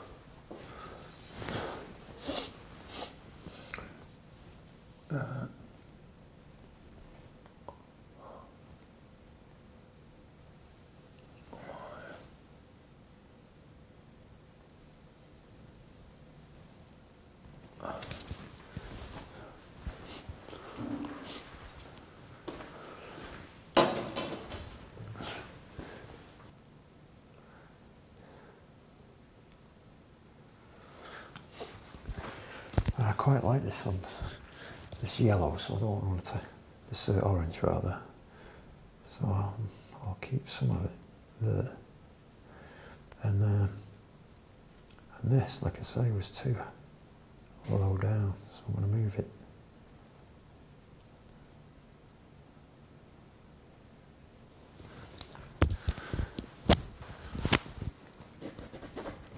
Move that.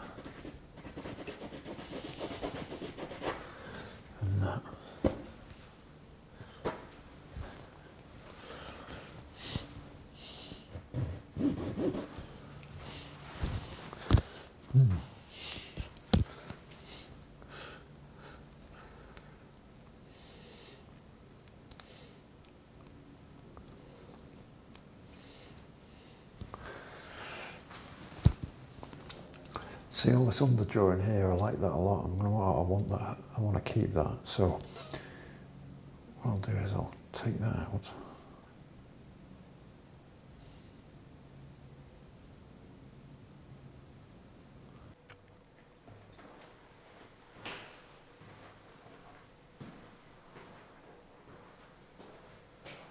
Hello. Well, this is it. Finished, I suppose. Um, I never say things are finished entirely, but uh, this is at the level now that uh, is usually the time when I uh, stop. Uh, so I'll just tell you a bit about this design now. Okay, so I think I've covered most things uh, previous videos, but uh, the the drawing stage was the design stage, right? Conceptual conceptualizing something uh, involves a number of elements. One of the main ones is design, right? And as long as the design is, is strong, then it, it really does aid the painting um, and gives it some credence. Okay, so I've designed quite extensively here with uh, colour. So I start from the Red Sea, for instance, and the eye travels this direction, right? Because all the tones are the same type of uh, range of reds and oranges and like that. Um, there's also a travel here with the opposite colour, blue. Uh, the blues and purples start there and they travel up that direction. Right, it's design. The greens frame the picture, either side, and at the bottom. And uh, the actual visual design is the same uh, thing. Uh, all the elements are placed uh, to promote a good visual balance. Um, that's why I ended up uh, changing this figuration here. I had a figure there, decided to change that. Um, and placing these extra figures uh, underneath in this guy here. Um, it gives it more of a base uh, and a visual sense of um, depth. Um, when I get to this point, I always, I always feel a, bit of a loss, to be honest. Um, and I suppose every artist goes through this. It's, it's like an anti-climax, I suppose. Because when you, when you first, when you initially start a painting, it's, it's, a, it's, it's very, um, uh, you're very enthusiastic and uh, you, you, uh, you just want to get on and, and produce the work and uh, you, you, know, it's, it's, it's quite exhilarating really. But when you get to the end, it's like an anticlimax. It's very, uh, uh, I've become very angst-ridden, uh, you know, uh, and there's some kind of uh, uh, negativity always comes with it. Uh,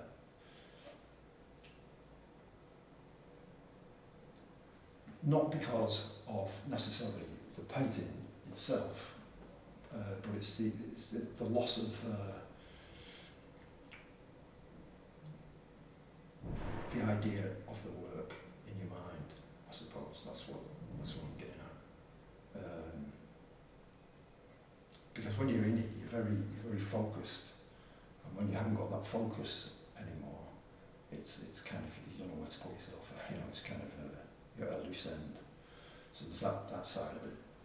Um, I will say that uh, I don't necessarily like any of my work. You know, in fact, I, I disregard it once it's gone.